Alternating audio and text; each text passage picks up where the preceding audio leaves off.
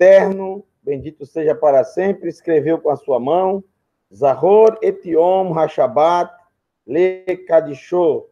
Lembra-te do dia de Shabat para santificá-lo. Desejo a todos vocês Shabbat Shalom. O Eterno te abençoe e te guarde, a você, sua casa, sua família e toda a sua parentela.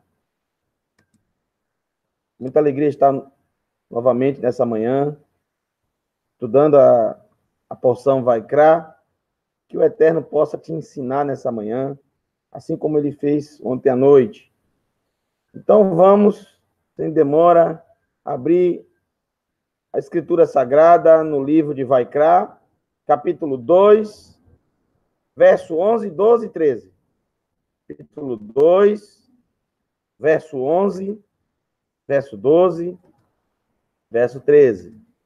O Hashem, bendito seja o Eterno, o Rei de todo o universo.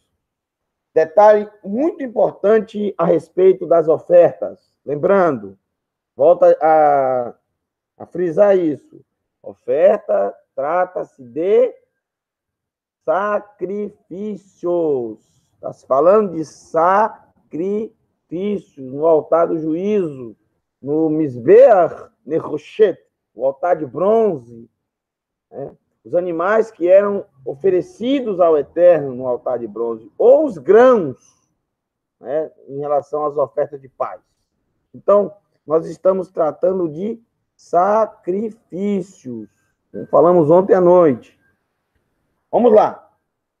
Capítulo 2 de Vaikra, Levítico, Levítico capítulo 2, verso 11. Kol, Kol Hamimcha, toda oferta, Kol Hamimcha, Asher Takrivu Ladonai, Lotease Hametz. Lotease Hametz. Kihol Seor Vehol Devash Lotaktiru Mimenu e Sheladonai, nenhuma, ofer, toda oferta de grão, vou falar ao, ao pé da letra aqui, toda oferta de grãos que levarem para Donai, Lote a ser não produzirá Hametz. Pé a letra. Lote a ser não produzirá, não fará fermentar, não fará Hametz. Hametz não quer dizer fermento. É claro que o fermento está totalmente ligado a essa palavra. Né? Hametz quer dizer fermentar. E o fermentar é através do fermento. Fermento faz fermentar. Hametz, fermentar. Como também, como também, não poderá ter vash, mel.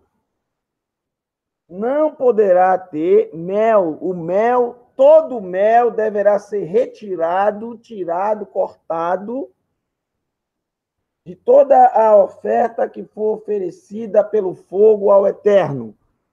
Nem poderá ter fermento, nem poderá ter algo que fermente, hametz, ou mel. Aí o texto continua, verso 12. podem levá-los a Adonai como oferta de primícias, mas não para o altar, não para queimar, não. O altar não. Você pode levar as ofertas de primícias, bicurim, que eram ofertados geralmente nas festas, principalmente na festa de Sukkot. Você poderia levar o que você desejasse oferta de bebidas, grãos, o que você quisesse. Mas não como uma oferta ao eterno, no sentido de oferta pelo pecado, pela culpa, oferecendo é, ao eterno para que o eterno o perdoasse, oferecendo ao eterno para que tudo tivesse bem. Não, no altar não. Verso 13. Tempere toda a sua oferta de grãos com sal. Não omita velo tashbit, velo tashbit melar brit.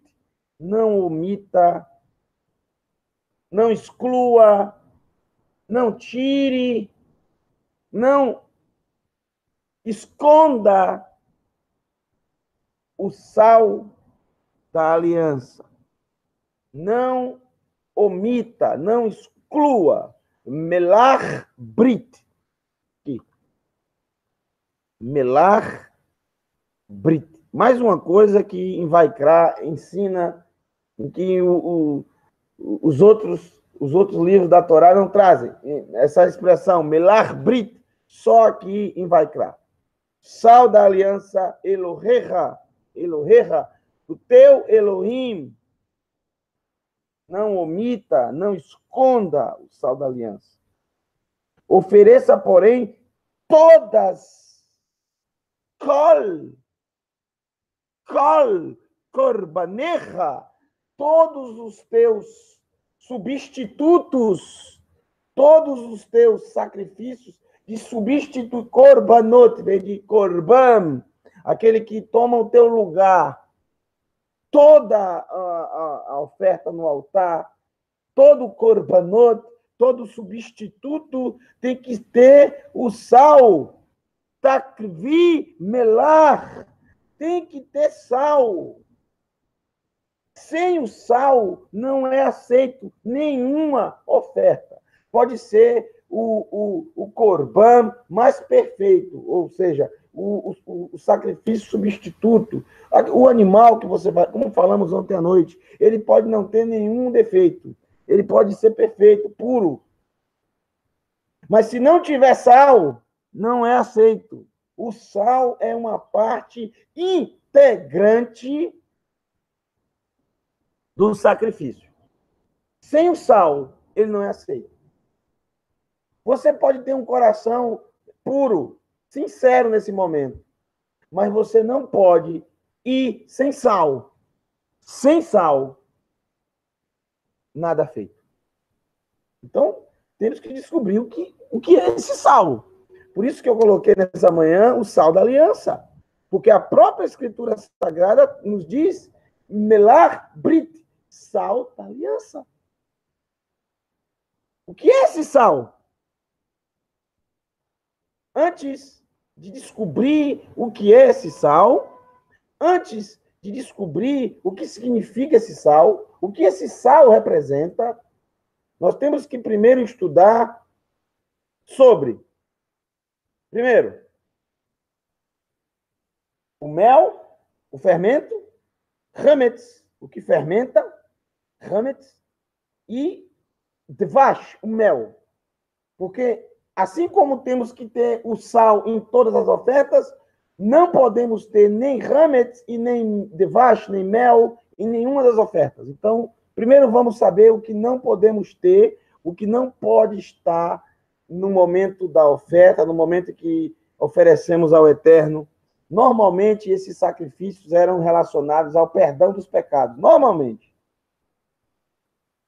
É o sacrifício mais importante para o ser humano. Então vamos lá. Primeiramente, o que não deve ter? O que não deve ter? Fermento e mel. E nunca pode faltar melar, o sal. Primeiro vamos para o que não pode ter. Lotease hametz. Lotease hametz, ou seja, não produzirás hametz. A palavra fermento em hebraico, fermento, não é hametz não, viu? A palavra fermento em hebraico é sheor ou shemarim. As duas palavras.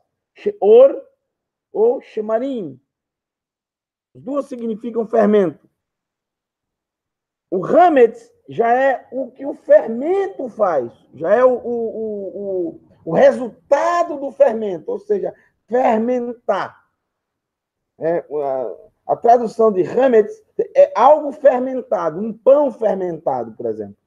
Um pão fermentado, um pão que foi colocado fermento e uma massa, por exemplo, que foi uma ralá, uma massa, foi colocado fermento e aí ela cresceu. Ela, o, o hametz é isso.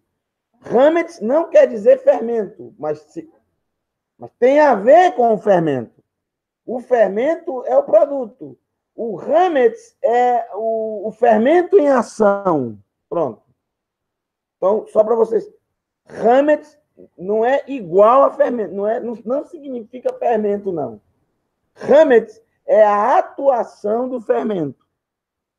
Lote, por isso que diz o texto, lotease hametz, não produzirás fermentação, não produzirás o, o, o, o, o efeito do fermento. No momento em que você estiver oferecendo a, o sacrifício. Bom, prestem atenção nesse texto do profeta Amós. Olha só como vai trazer alguns, algum, um, um pouco de luz, de entendimento sobre o que o Eterno está falando é, em relação à oferta. Olha só, Amós 4, verso 5. Eu coloquei para vocês aí na tela. Queimem pães fermentados. Olha o que o Eterno está falando. Mas o Eterno está mandando queimar pães fermentados, mas a Torá não diz para não queimar, mas leia o texto todo. Como oferta de agradecimento, gabem-se em público a respeito de suas ofertas voluntárias, pois isso é o que você gosta de fazer, Israel, diz Adonai Elohim. É claro que o Eterno ele está falando para queimar os pães fermentados como oferta de agradecimento, e, e, aqui, pães fermentados é a palavra hametz. No texto original, quando você vê pães fermentados aqui, é simplesmente a palavra hametz.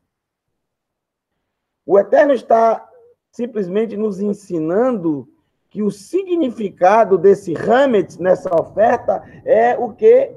Gabar-se, vaidade. É a vaidade do ser humano. Porque o que é que o fermento faz? O que, qual é a atuação do fermento? No caso, Hametz. É, o fermento atuando, que é o Hametz, produzindo Hametz, produzindo a fermentação, o crescimento da massa. Uma massa, quando é feita e colocada a fermento, o que é que ela vai fazer? Ela vai inchar, ela vai crescer, ela vai ter um, um, um tamanho, um volume muito maior do que, na verdade, a massa é. Na verdade, a massa, o, o, a quantidade de, de, de farinha, ela, é, ela vai crescer muito além do que aquela quantidade de farinha que você colocou. A massa original que você fez. Você que criou a massa original, você sabe o tamanho dela real. Mas quando o, o, o fermento atuar, que é a palavra hametz, a atuação do fermento, e, e, e fazer ela crescer, você vai perceber o quão, entre aspas, enganoso é o efeito do, do fermento. Ou seja, ele, ele trouxe um volume muito além daquilo que era o original. Então, a oferta com fermento, você está com muitas pessoas ao redor oferecendo os sacrifícios ali, e você se gaba porque a sua oferta foi maior do que todos os outros. Você se gaba porque, já que a quantidade de farinha é determinada na Torá, é determinada a quantidade. Não se pode dar nem a mais nem a menos. Por quê? Para que ninguém possa se exaltar, dizer eu dei mais, eu fiz mais, a minha oferta foi melhor. Mas como ele sabe que a quantidade é igual, o que, é que ele faz? Ele coloca um pouco de fermento. E aí a dele vai crescer mais do que os outros. Porque vai ter líquido, vai ter sangue no altar. E aí aquela massa ela, ela vai crescendo, porque tem fogo. E aí o que acontece? Ela, o fogo faz mais ainda o, o fermento é, é, é, inchar mais ainda, crescer, a massa cresce mais ainda. E aí ele, ele pode se exaltar e dizer: Olha, o Eterno aceitou a minha oferta, porque a minha cresceu, a minha cresceu de volume, e a de vocês ficou do mesmo tamanho. O Eterno está dizendo: o sentido é isso aí, é, é se gabar a respeito das suas ofertas voluntárias. É se exaltar, é a vaidade. Vaidade, por sinal, que acompanha o ser humano desde o princípio. Vaidade que foi bem é, mostrada à, à, à humanidade através de um homem chamado Nimrod. A vaidade em pessoa personificada. Ele se exaltou, ele se colocou, inclusive, no mesmo patamar do eterno. Ele se intitulava Gibor, título dado ao Eterno. Está escrito na Torá dessa forma. Gibor. Quem é como Nimrod? Ninguém é como ele. Ele se colocou diante do Eterno. Está escrito. Lifnei Adonai. Como Gibor. Como poderoso. Ele foi o primeiro governante sobre a terra, a governar a terra. Vaidade em pessoa. E essa vaidade o ser humano tem seguido. Vaidade é algo que o Eterno abomina. É abominável. Você querer se colocar acima das pessoas, isso é abominável diante do Eterno. Aos olhos de Adonai, isso é abominável. Você se colocar como melhor do que as pessoas. Melhor do que o próximo. Eu sou melhor. Eu tenho mais conhecimento. Eu posso mais. Eu sou mais santo. Isso aí. Eu tenho mais. Essa pior ainda quando se refere ao eterno, se refere a, por exemplo, está falando de ofertas voluntárias aqui. Pior ainda quando está no meio religioso, quando ainda coloca o eterno no meio disso tudo, a, a palavra no meio disso tudo. Isso é ainda pior. Porque se se refere ao eterno, se se refere a ofertas, e está falando de oferta, está falando de arrependimento, está falando de, de ir ao Mishkan, ao tabernáculo, se arrepender e buscar a remissão. Mas veja, as pessoas sempre utilizaram o Mishkan, o tabernáculo, e também o Beit Hamikdash, o templo, mesmo que seja para um, um, momento de arrependimento, um, um momento de se humilhar, mas veja, o ser humano ele é tão vaidoso que ele utilizava e utiliza esse, esse, esse processo do eterno para se vangloriar. Momento das ofertas, para se vangloriar. Não para se arrepender. Por isso que o Eterno disse muitas vezes: eu não, eu tenho nojo do sacrifício de vocês. Nojo. Não, eu não me alegro com o sacrifício de vocês, porque não há sincero arrependimento. Não há humilhação. Muito pelo contrário, a vanglória, Muito pelo contrário. Orgulho. Isso é Hammer. Você quer é, mostrar acima do que você além. Por exemplo, quando ele era, era verão, ainda não era tempo do, de, de, de tenar, tenar figo, mas no verão, diferente do inverno, as folhas estão lá e se tem folha, tem também o temporã, aquele o, o, o bem para matar a fome de uma pessoa que não tem nada para comer no momento, está com fome. Ele come, é, são fibras. Tem um pouco de proteína também. Se tem folha, tem, tem um temporã. Que o temporã nasce junto com as folhas do figo. No inverno, todas as folhas do figo caem. Mas quando começa a primavera, começam a nascer as folhas e os, os figos também. Quando chega o verão, o temporâneo já cresceu um pouco mais, é o figo verde. E era verão, como está escrito o texto. E Yeshua viu, estava coberta de folhas a, a, a, a, na, na, a, a figueira. E ele procurou um, um figo e não tinha nenhum. Ou seja, aquela figueira mostrava por fora uma coisa que por dentro ela não era. Isso é Hametz.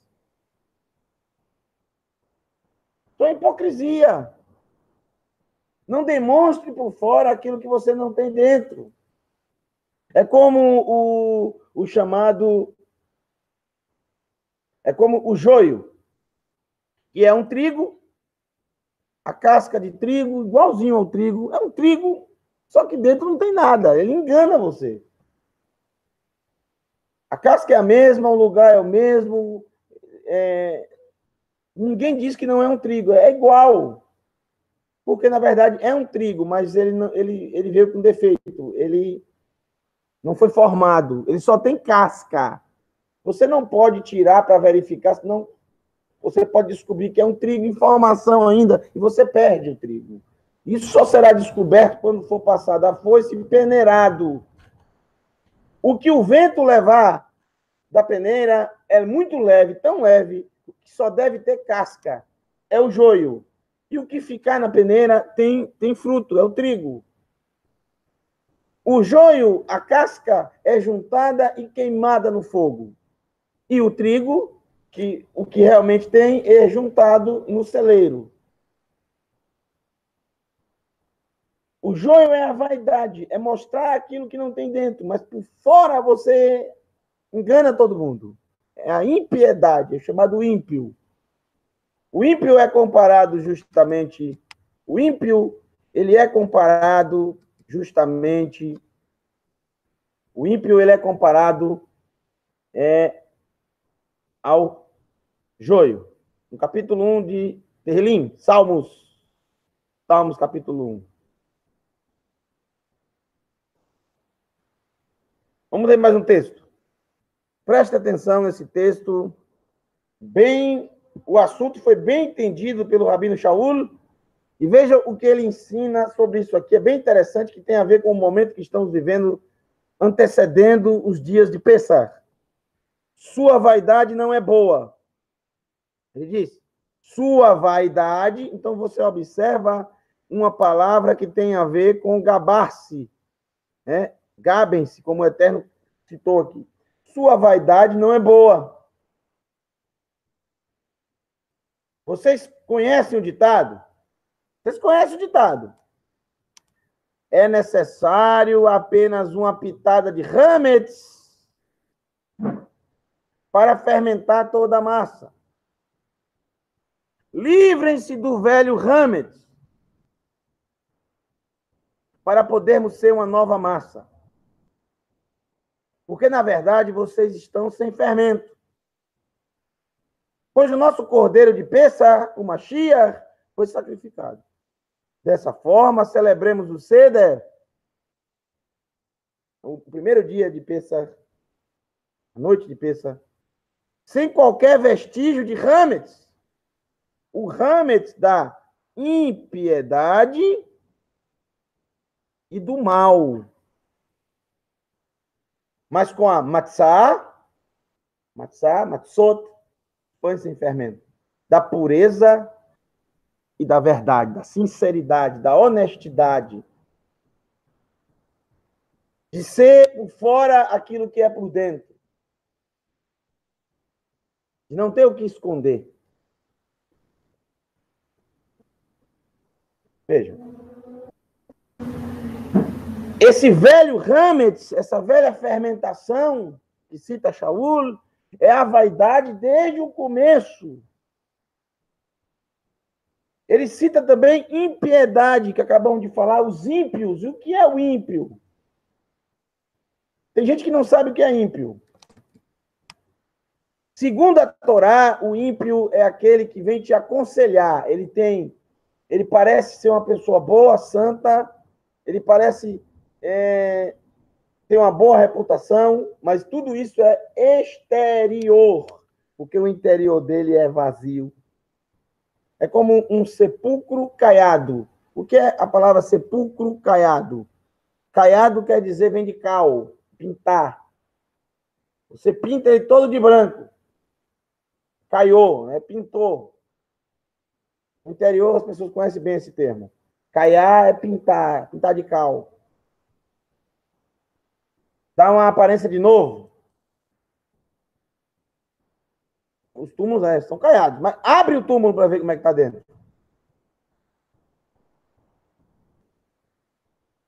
Entendeu o que é sepulcro caiado? Isso aí, sepulcro caiado.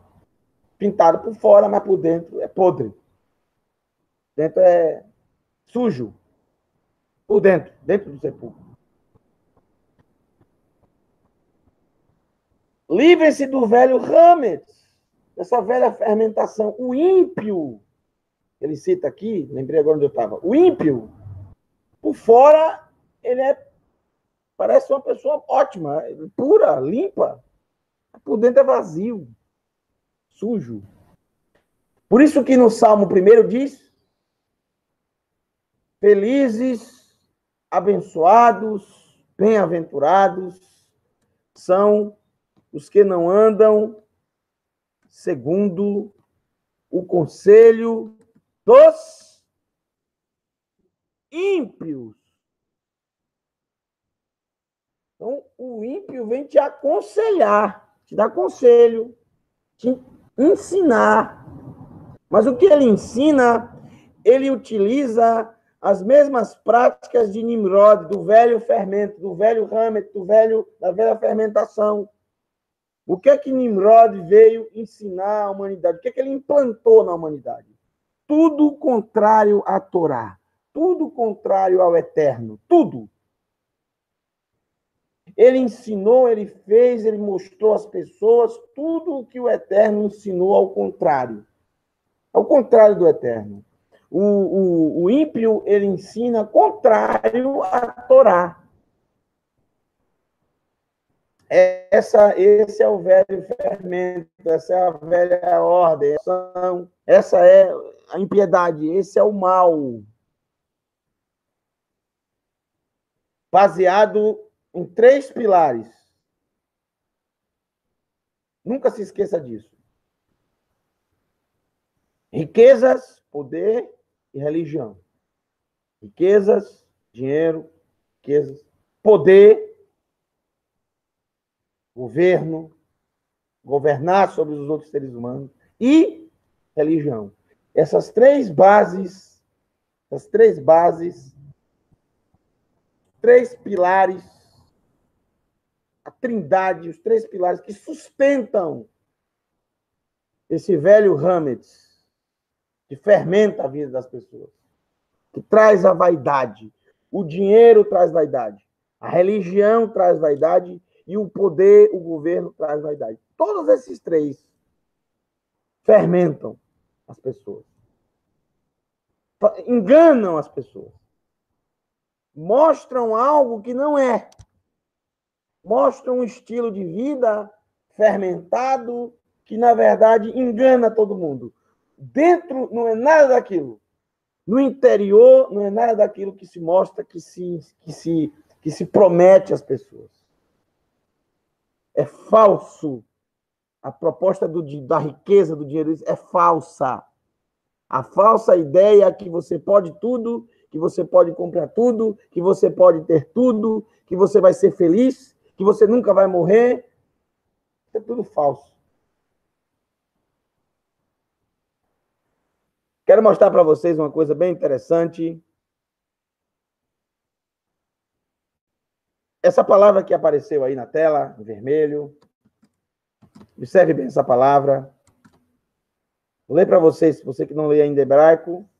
Você está vendo um mem, um tzadik, um vav e um tav. Mitzvot. Mitzvot. Mitzvot, essa palavra maravilhosa, linda essa palavra, quer dizer mandamentos.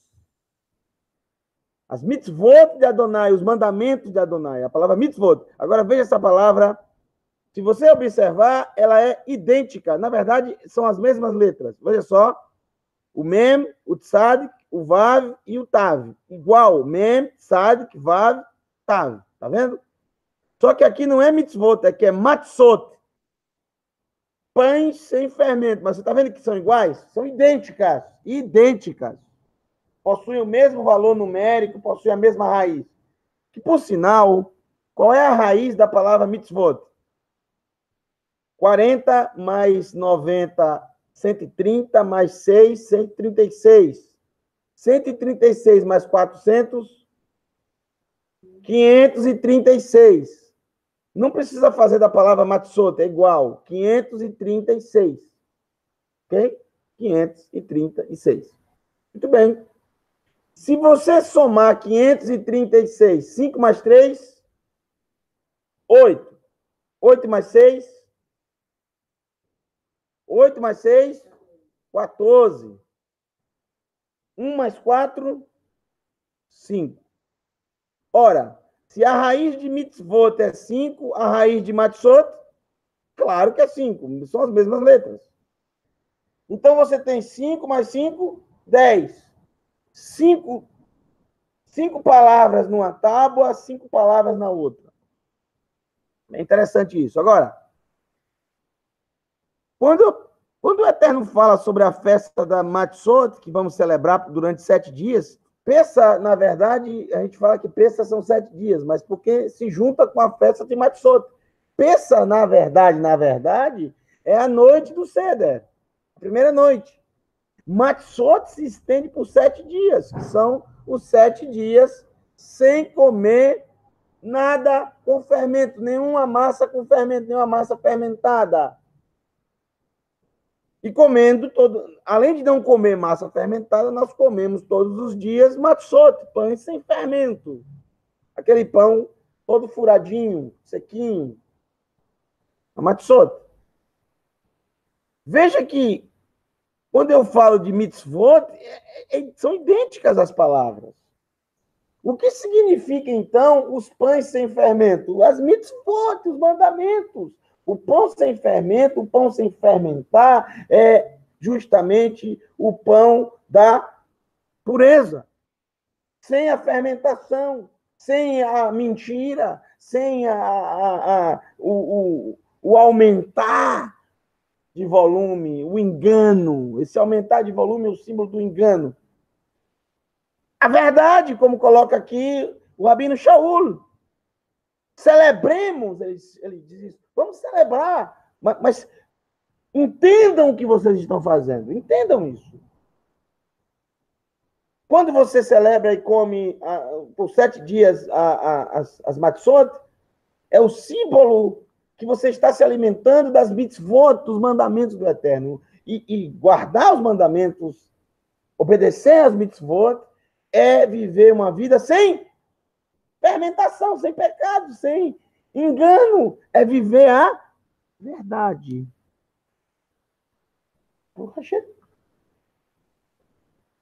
Essa impiedade que tem espalhado a fermentação antiga de Nimrod, ensinando contra a Torá de Adonai, contra seus mandamentos e seus ensinos, excluindo a Torá do Eterno. Excluindo, cortando, tirando, lançando fora. Veja o que falamos no começo, que lemos da Torá no começo, não omita o sal da aliança. Não omita. Mas a impiedade tem omitido, cancelado, anulado, extirpado o sal da aliança. E no lugar tem substituído pelo fermento. Bom, tomara que vocês tenham entendido Tomara que vocês tenham entendido.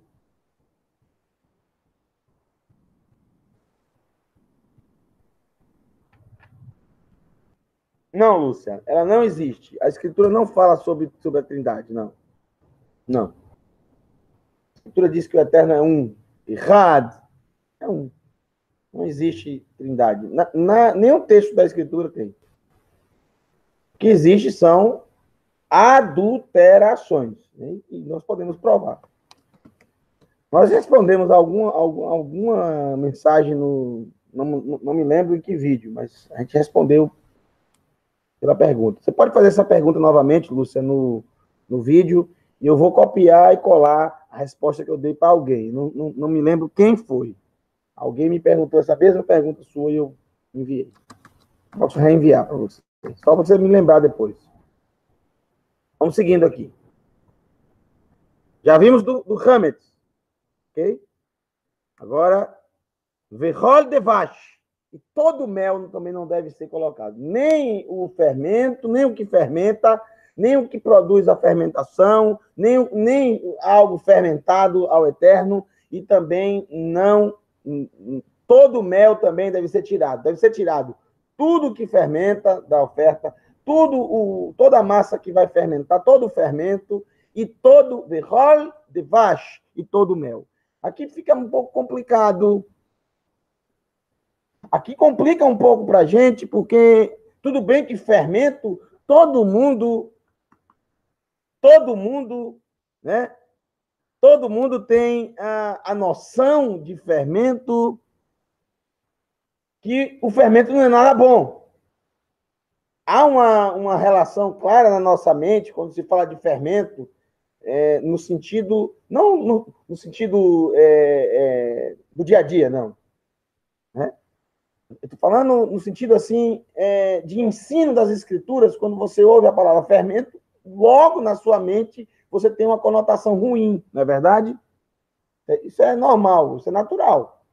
Quando fala de fermento na escritura, é, quando fala de ensino, e cita o fermento como um exemplo, todo mundo faz associações ruins ao fermento. Ele aumenta a massa, ele engana, pronto. Ele faz inchar. Agora, quando se fala de devash, mel, aí a coisa complica. Porque na nossa mente, o mel é algo doce, doce como mel. Inclusive, os mandamentos do Eterno, no Salmo 19, é dito que os mandamentos do Eterno são doces como mel. Né? A palavra é doce como mel. Então, o mel, o mel é meio complicado para a gente entender isso aqui. Por que, que não pode ter o mel na, no, na oferta queimada, na, quando se oferece ao Eterno os sacrifícios? Por que não pode ter o mel? O, o fermento eu entendo. Mas o mel é complicado. O mel tem uma conotação boa na escritura sagrada. A palavra é, é, é, associada ao mel, por exemplo, é doce como mel. Ela não traz amargura ao ser humano, não. Ela, ela traz doce, ela é doce. Há uma frase muito conhecida que o Eterno é, colocou. Quem inventou foi Adonai essa frase. E se tornou muito conhecida durante toda a, a campanha do povo de Israel saindo do Egito e indo até a... essa frase que o Eterno repetiu várias vezes é, é, é, o slogan, vamos dizer assim. O Eterno criou uma, uma, uma mídia, ele fez um, um, um marketing em relação à terra que eles estavam indo. E ele criou um slogan. Qual é o slogan do Eterno? Eretz Zavat Halav Udevash. Eretz Zavat, Halav, o Devash, a terra que manda leite e mel. Esse não é o slogan da terra prometida? É ou não é? A dona é, é, é, é, mestre em marketing, meu amigo. Ele também diz que a terra de Israel é a mais linda de todas. Ele também diz que a oração feita no Monte Moriá, os ouvidos dele ele vai ouvir, ele vai estar atento.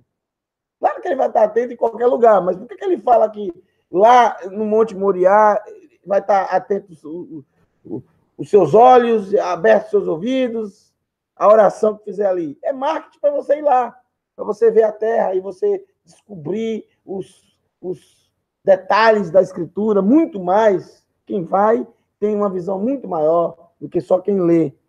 Né? Quando você lê algo e você vê, você tem, obviamente, uma, um entendimento sobre qualquer coisa, não só a terra de Israel, mas qualquer coisa.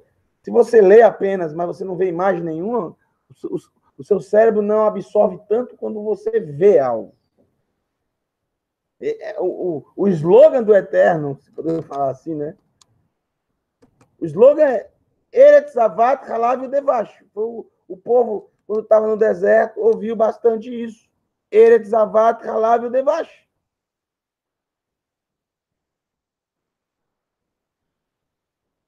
Pão árabe pode ser consumido, não leva fermento. Gente, nós estamos falando é, do período do período de do período de Matsot. É, é assim que você está perguntando, Renato?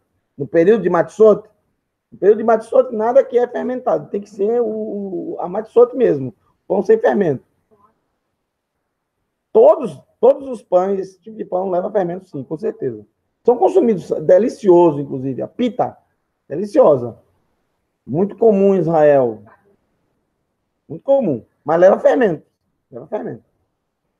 Só não tem fermento no período do matzot. Só no matzot que você deve excluir o, o fermento. Mas, vamos lá. Come mel, não é isso? Não é mel? É um problema, né?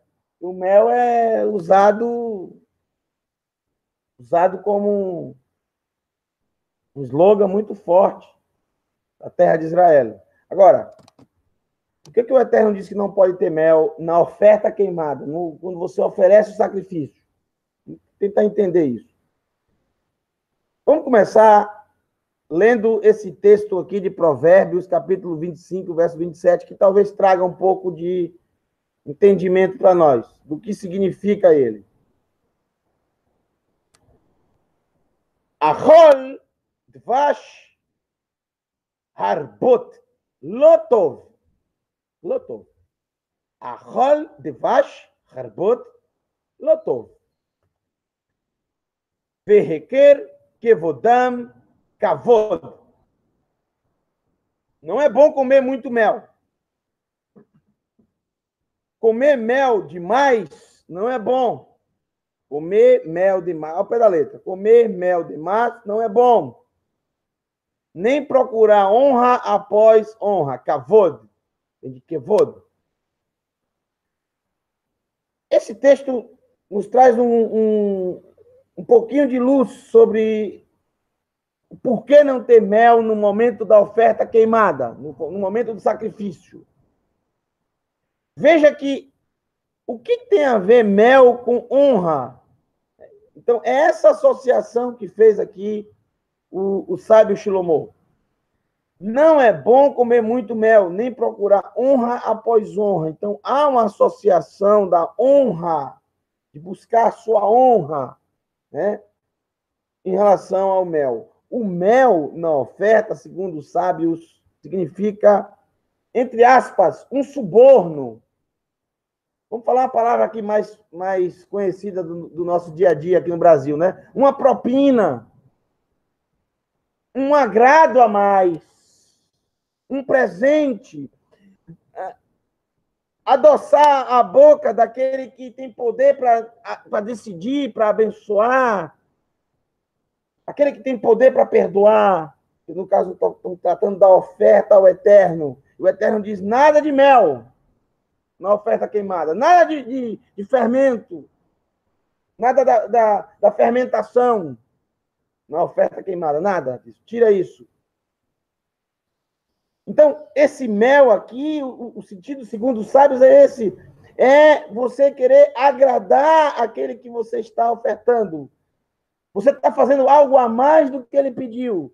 Como dizendo assim, me abençoa um pouco mais também. Seja mais. É, feche os olhos para alguns erros que eu tenho, no caso. Eu estou te fazendo algo a mais aqui. Faça mais por mim também. Essa ideia é errada.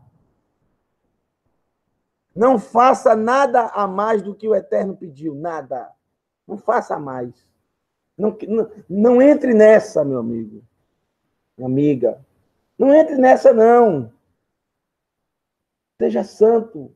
Não queira ser melhor do que os outros. Não queira ter mais vantagem que os outros. Não queira aparecer mais que os outros. Por que, que você quer fazer a mais ainda do que o Eterno te pediu? Por quê? A mais ainda. Normalmente, normalmente as pessoas, o ser humano, ele quer fazer a mais porque ele quer ser mais agraciado. Ele quer fazer a mais porque ele quer aparecer mais. Porque ele quer ser levado. Ele quer ser.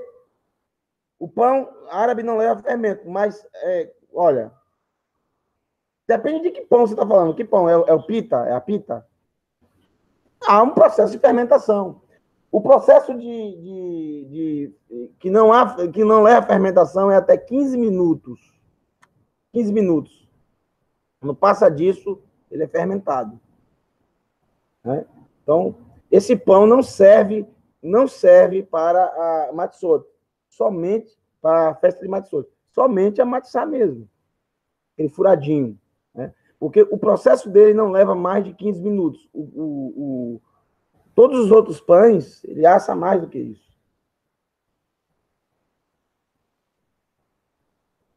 Vamos lá. Seguindo.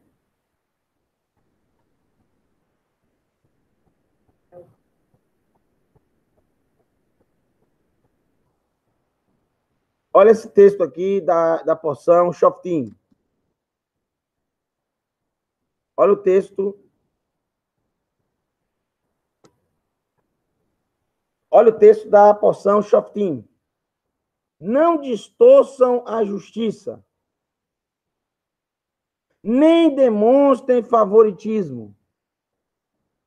Não aceitem suborno, pois um presente eu coloquei entre aspas, mel. Você tem um, um presente cega os olhos dos sábios e torce as palavras da pessoa mais correta. Um presente, um mel, um, um doce a mais. Justiça, justiça perseguirás. Somente a justiça. Sedek, Sedek. Para que vivam, para que tenham vida e herdem a terra que Adonai seu Elohim dá a vocês. Devarim, Deuteronômio 16, 19 a 20. Poção para achar Shoftim.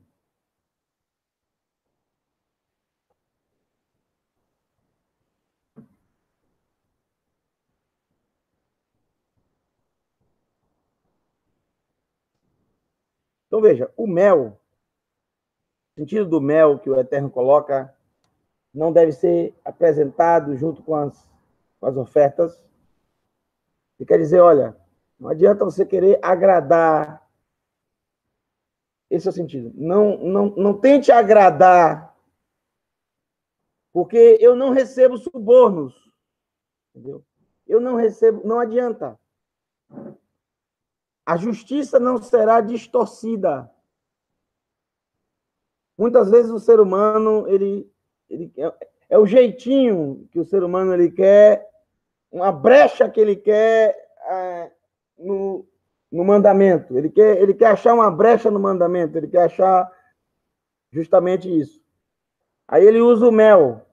Esse mel é simplesmente tentar achar uma interpretação que facilite a vida dele, ou seja, que, é, que deixe ele fora, deixe ele a parte de cumprir aquilo que o Eterno determina.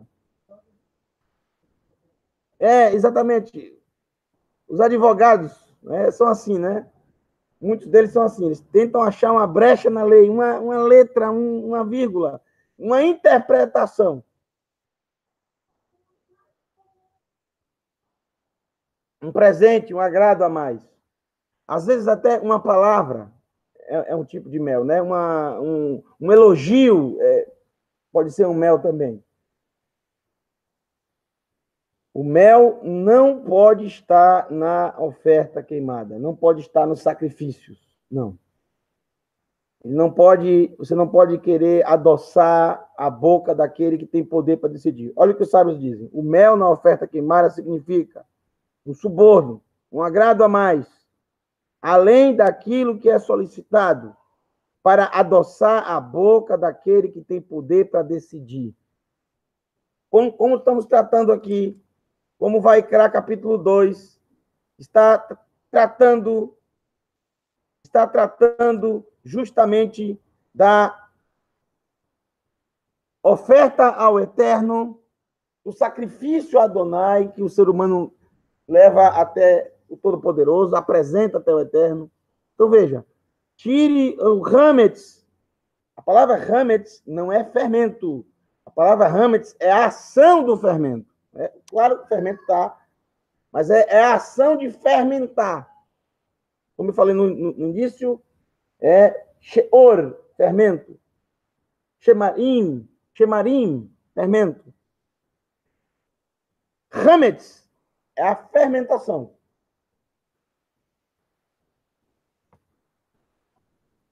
Fermento, o hametz, a fermentação, devash, o mel. Já vimos esses dois itens que não pode ter, essa fermentação e o mel. Agora vamos o contrário. Vamos focar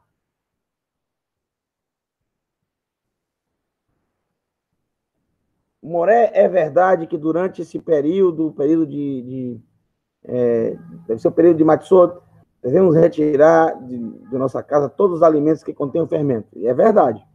Isso nós vamos explicar para vocês é, na próxima semana, né, no próximo Shabat. Para você se preparar, você vai ter toda a semana para se preparar, fazer uma, uma limpeza na casa. Ou seja, você vai, você vai analisar toda a sua casa, verificar o que é que tem fermento, verificar o que é que, que massa tem, que massa possui fermento e tirar, eliminar a sua casa. É assim que, assim que fazemos todo ano. Não se preocupa que semana que vem a gente vai trazer todos esses detalhes. Vamos lá. Vamos para a, o que mais nos interessa nessa manhã, entender o que realmente não pode faltar nas ofertas, nos sacrifícios. Então, isso é de extrema importância, porque isso não pode ser omitido.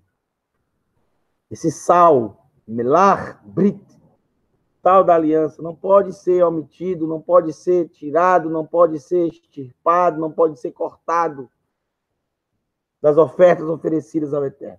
Foque muito a sua mente quando eu falar de ofertas queimadas, sacrifícios. Foque no momento em que você reconhece os seus erros, os seus pecados, e você é, apresenta-se ao Eterno para que o seu pecado seja perdoado. Foque nisso. Lembre-se disso à noite, que falamos ontem à noite. Então vamos lá. Velo teshbit melar brit Velo tashbit melar brit. Velo tashbit melar brit. E não omita, e não omitirás, está no, futuro, não omitirás sal da aliança. Melar brit.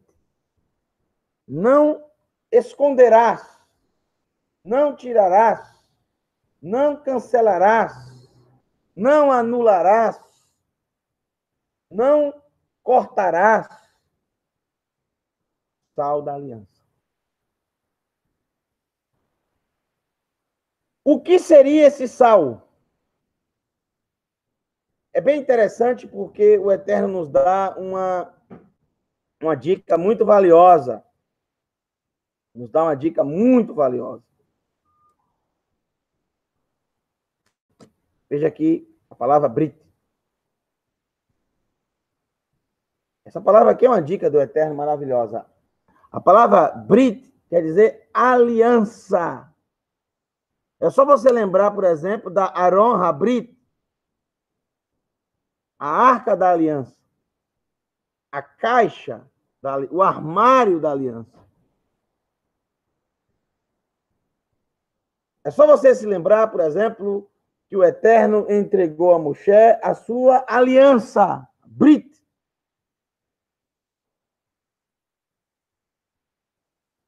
É só você se lembrar que a aliança, o Eterno também diz, Aseret Hadevarim, as dez palavras, Habrit, da aliança.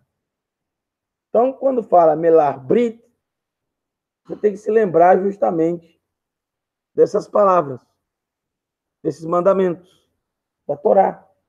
A Torá é chamada de aliança. Não omitirás o sal da aliança. Não omitirás a Torá. Não cancelarás, não esconderás. Você não deve tirar jamais de todos os teus korbanot, os substitutos à aliança.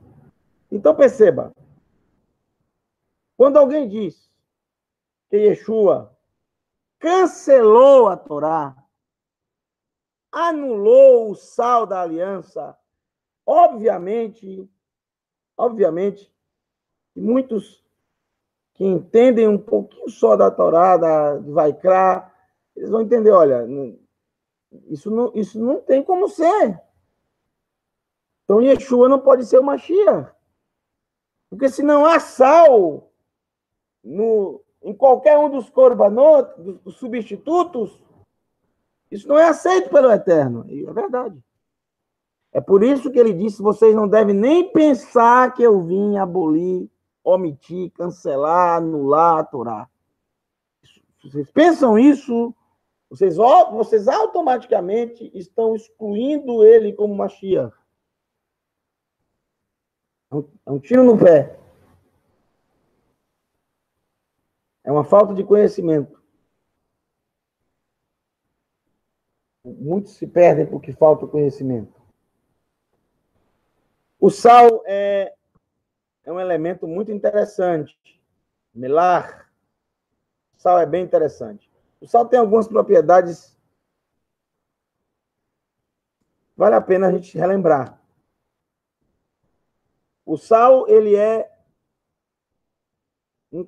ele conserva os alimentos, não é verdade? Ele conserva os alimentos. Você sabe que até pouco tempo atrás não existia geladeira. Geladeira é algo novo, é algo novo, é, não é verdade? Geladeira é algo relativamente novo, mas a humanidade passou milênios sem geladeira. E como é que eles faziam para conservar os alimentos?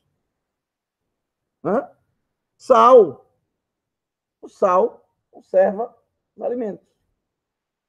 Além de, de conservar os alimentos, o sal também hã? dá sabor. Exatamente. O sal, ele dá sabor aos alimentos. Imagina uma comida sem sal. Uma comida sem vida, sem gosto. Sossa. E sossa? Insossa. Gostei da palavra. Bem rebuscada. Insossa. sem sabor, sem gosto, sem vida. Não há prazer, não há deleite em comer uma comida sem sal nenhum. Realmente é, é horrível. Tem que ter cuidado na quantidade, né? Porque tudo demais, tudo demais é sobra, tudo demais faz mal. Tudo demais, em vez de ser uma bênção, se transformará numa maldição. Por isso, muita gente utiliza erradamente.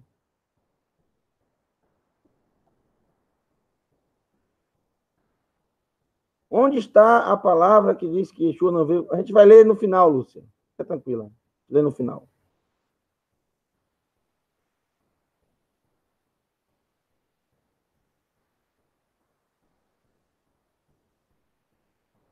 Veja só. Sal ele dá sabor, o sal ele conserva os alimentos, o sal ele também é um dos maiores, se não o maior anti-inflamatório do mundo.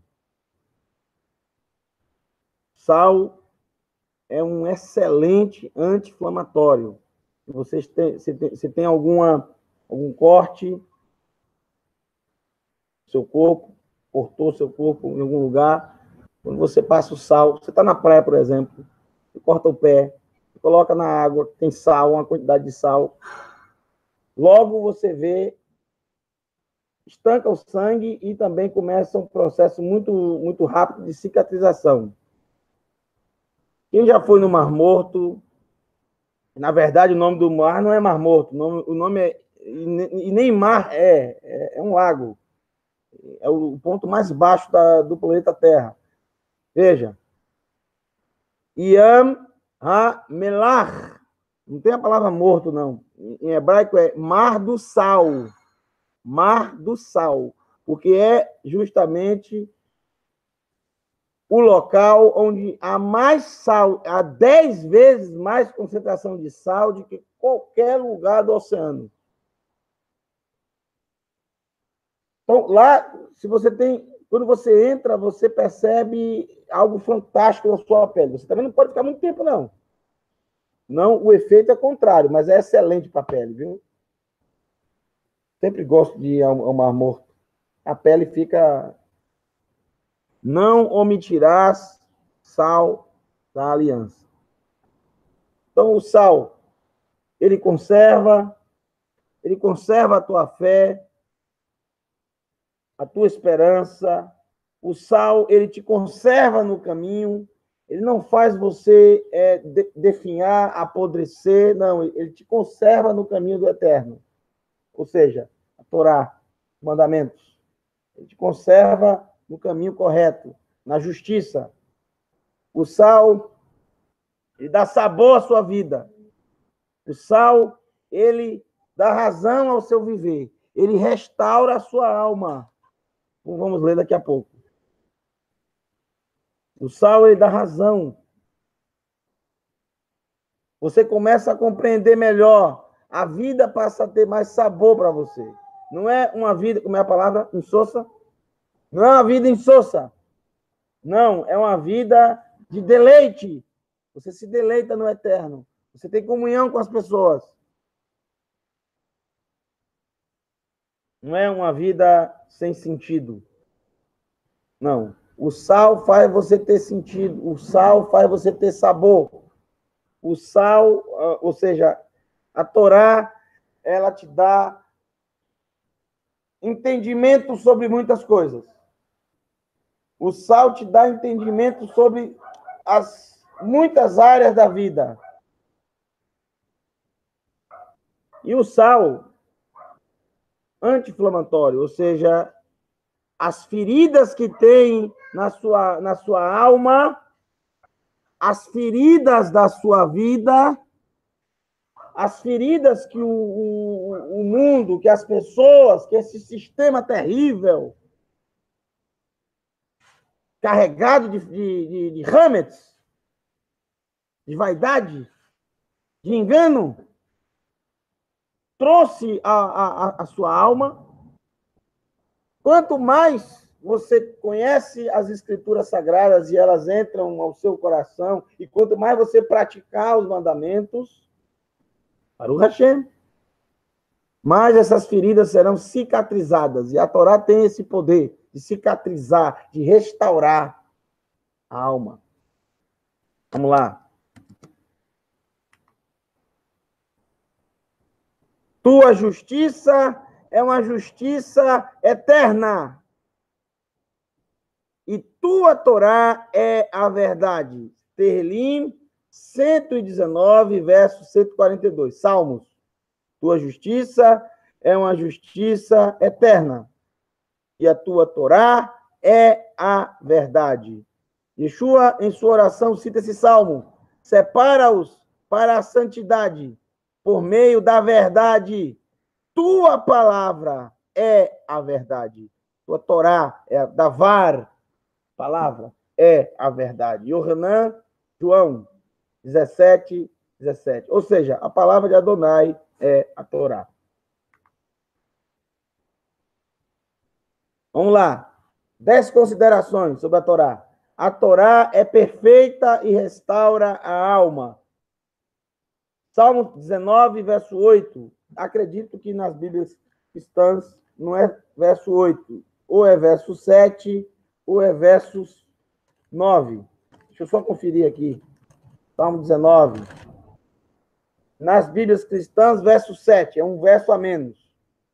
A Torá de Adonai é perfeita, restaura a alma. A instrução a palavra Torá significa isso: instrução. Instrução. Ensino. A instrução de Adonai é clara. transforma o tolo em um sábio, faz sábio o tolo. Então, quem não tem Torá é considerado um tolo. A mulher sábia edifica a sua casa. Mulher sábia é que tem Torá. E a tola destrói. A tola é quem? Quem não tem Torá. Quem não se pauta pela Torá. Uma mulher, por exemplo, que conhece a Torá, ela respeita o seu marido, ela sabe que a autoridade, no sentido de decidir, de decisão, é do marido. Se o marido diz isso, o marido fala: Olha, é, eu vou por aqui. Ela deve seguir o marido. Se ela for sábia. Mas se ela for tola, ela diz: Não, por aí está errado, não vou não. Ou seja, é tola. Porque a Torá ensina que ela vai ser abençoada simplesmente porque ela, ela, ela deixou o marido decidir. E é isso que a Torá ensina. Ela vai ser abençoada porque obedeceu o mandamento. Isso é a mulher sábia. Ela edifica a casa. E abençoa o marido. Mas a tola, ela destrói. Por isso que Shilomô disse: é melhor ter dez. É, é, é melhor ter como mil homens, dez com espadas no pescoço, do que conviver debaixo do teto com a mulher rixosa, mulher briguenta. Mulher briguenta, rixosa, ela é tola. Ela é tola. Dois. Quem coloca sua alegria na Torá de Adonai é abençoado e feliz. Quem coloca sua alegria na Torá é abençoado e feliz. Abençoados são os que rejeitam o conselho dos ímpios, não ficam no caminho dos pecadores, nem se sentam com os escarnecedores, os zombadores. Antes, sua alegria está na Torá de Adonai em sua Torá meditam dia e noite. Também. Salmo 119, 1. Esse foi o Salmo 1, verso 1 e verso 2. Agora, Salmo 119, 1. Felizes são aqueles cujo caminho da vida é irrepreensível, que vivem pela Torá e Hashem, de Adonai, do Eterno, do Todo-Poderoso, do Rei de todo o universo, do Criador de todas as coisas. Três. Nossos olhos são abertos quando olhamos para as, para as maravilhas da Torá. É o que diz, o, você sempre recita no Shabat, Gal einai ve habitar niflaot mi terra. Gal einai ve habitar niflaot mi terra. Abre os meus olhos para que eu veja as maravilhas da tua Torá. Olha esse também que você recita sempre também no Shabat. Está no, no, no Sidur, que eu passei para as pessoas que solicitaram. Veja. Ve'eshmerá Toraterra Tamid Leolam Vaed. Ve'eshmerá Toraterra Tamid Leolam Vaed. Guardarei a tua Torá continuamente, para sempre. A Torá é eterna, assim como o eterno também, assim como Adonai, não possui data de validade. Não possui data de validade. Não deve ser omitida. Se você se arrepende porque você transgrediu a Torá, como você pode omitir da, da oferta que você pede perdão ao Eterno a Torá? Como você pode tirar ela de cena? Ela é parte integrante de todo esse processo. Nenhuma vez, nenhuma só pedido de perdão ao Eterno deve ser omitido da Torá. De nenhum dos corbanotes, nenhum dos sacrifícios omitirás, disse o Eterno.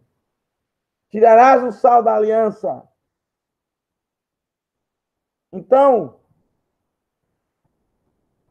Yeshua é o nosso corban, nosso substituto. Como você pode pensar, como você pode é, é, é, conceber isso na sua mente, no seu coração, que a Torá está à parte dele? Se está à parte dele, não poderá, o perdão não virá sobre você, meu amigo, minha amiga. Não pode ficar sem o sal da aliança, tem que estar. Tá. Por isso que ele disse claramente, sem deixar dúvida sobre isso, nem um Yud e nem um da Torá passará. Os céus e a terra passarão, mas a Torá não passará. É mais fácil desaparecer os céus e a terra que se tornar vazio, um só traço da Torá, ele disse. É por isso que ele foi tão. Por isso que ele, ele planificou de tal forma a Torá, ele trouxe um entendimento tão amplo da Torá. Muito mais do que qualquer outro sábio já trouxe, justamente por isso. É o sal da aliança. E não deve ser omitido. Não, não, pelo contrário, deve ser planificado. Deve ser vivido plenamente. Porque essa é a nossa justiça. Eu não coloquei aqui, mas me lembrei agora de Varim, capítulo 6. Varim, capítulo é, Deuteronômio, capítulo 6.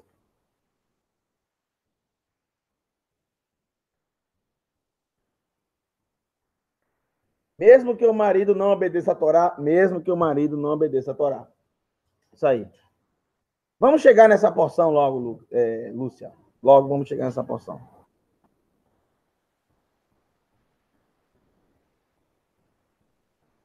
Vamos lá. Deuteronômio 6, verso 25. Desculpe que eu não coloquei aí.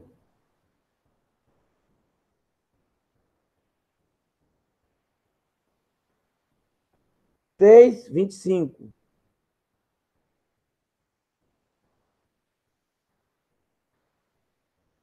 Abri o Sidu nessa manhã e era um antivírus. Ainda bem que era um antivírus, não era um vírus, né? Se fosse um vírus que era um problema. é porque no e-mail, no e-mail, quando a gente passa o e-mail, é, o, o antivírus, ele, ele, ele, ele escaneia o e-mail e aí vai embaixo como se fosse uma propaganda do antivírus, né?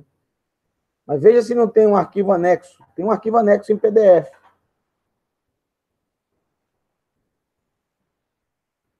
Se não foi um arquivo PDF, você envia novamente a mensagem que eu reenvio para vocês. Varim 6, Deuteronômio 6, 25.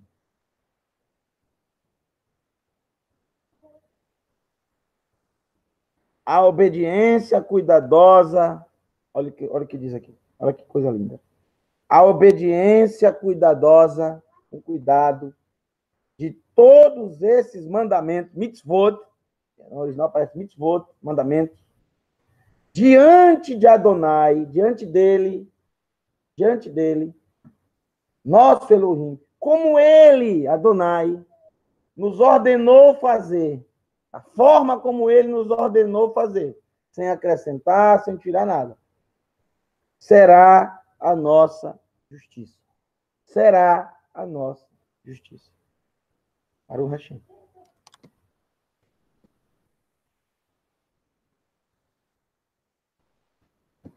Não se preocupa, Silene. É, envia novamente teu e-mail lá quando terminar o vídeo. De preferência nesse vídeo que estamos agora, porque fica mais fácil para eu ver. Se mandar em vídeos anteriores é mais difícil. Se mandar agora, eu fico mais fácil para ver e eu reenvio. Aqueles que não conseguiram abrir. Vamos para mais uma. Quinta. A Torá vale mais que qualquer riqueza terrena a Torá, o sal da aliança, vale mais. Os ensinos do Eterno, os mandamentos, vale mais que qualquer riqueza terrena. Salmo de Davi, Salmo 119, 72. A Torá que decretaste, a Torá que decretaste, significa mais para mim que uma fortuna em ouro e prata. A Torá que decretaste significa mais para mim que uma fortuna, fortuna, não é uma moeda não, é uma fortuna em ouro e prata. E Davi, quando escreveu isso, ele não era rei ainda. Ele não era rei ainda quando escreveu o Salmo 119.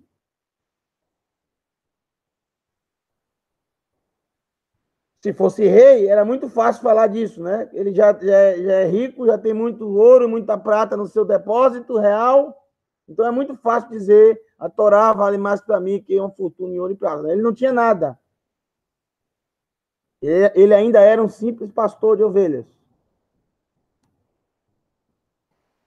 Que esse, que esse texto seja verdadeiro na sua vida, no seu coração. Que isso seja verdadeiro para você. Que os ensinamentos de Adonai, que durarão para sempre, que nunca passarão, diferente das riquezas que irão desaparecer, que irão sumir, como ensina Yeshua, que os ladrões roubam e a, a, a traça. É, como é que diz? A traça corrói, os ladrões roubam. Isso seja verdadeiro na sua vida, no seu coração. Você tenha muito mais prazer, muito mais. Que signifique muito mais para você os ensinamentos do Eterno do que qualquer riqueza em ouro e prata. Seis. Muito interessante. A nova, coloquei nova entre aspas, a nova aliança é a Torá escrita nos corações. É como eu falei ontem à noite de Vaikra, que traz a ideia do Eterno da Brit Milá do coração, da circuncisão do coração.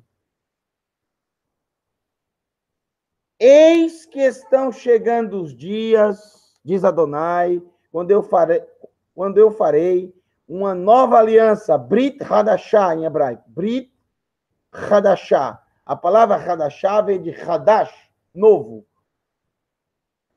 Brit Hadashah, uma nova aliança com a casa de Israel e com a casa de Yehuda. Lembre-se que nesse período de Irmeiahu, Jeremias, o povo de Israel estava dividido dez tribos, casa de Israel, e duas tribos, casa de Yehuda ou seja, Yehuda e Beniamim, e as dez tribos, comandadas por Efraim, e Levi não estava em nenhuma das duas. Levi, obviamente, não estava em nenhuma das casas. Levi era separado, servia ao Eterno. Não, não entra nessa contagem. Mas Levi ficava mais próximo, obviamente, a Yehuda e Beniamim, pela localização do Beit Hamikdash, do templo. Que estava prestes a ser destruído aqui na época de Irmiarro. Qual será essa nova aliança? Porei a minha Torá, porei a minha Torá dentro deles e a escreverei em seu coração. Serei o Elohim deles e eles serão meu povo. Ora, o que é a nova aliança? A Torá sendo colocada e escrita nos corações, não mais em tábuas de pedra, mas literalmente nos corações, para que fique marcado, gravado no coração. E o que é o coração humano? Não é, não está falando do órgão que bombeia o sangue para todo o corpo. O sangue transporta, além de muitos outros é, componentes, um, um essencial para a vida, que é o oxigênio, que oxigena todo o corpo, principalmente o cérebro. Então, o coração humano, quando fala de coração aqui, escrever no seu coração, está falando justamente daquilo que o ser humano ama, o, o, o, a escolha do ser humano, o amor do ser humano, uma área da vida humana, da alma humana, que somente você, eu, o ser humano, pode tocar. Somente o Eterno pode escrever a Torá, pode colocar a Torá dentro do seu coração e escrevê-la. Se você desejar, se você abrir a porta do seu coração, só você tem essa chave do coração. É a tua vontade, o teu íntimo, o teu desejo, o desejo mais profundo da tua alma é o que chamamos de coração. Lev, em hebraico. Então, o que é a nova aliança? É a Torá escrita nos corações.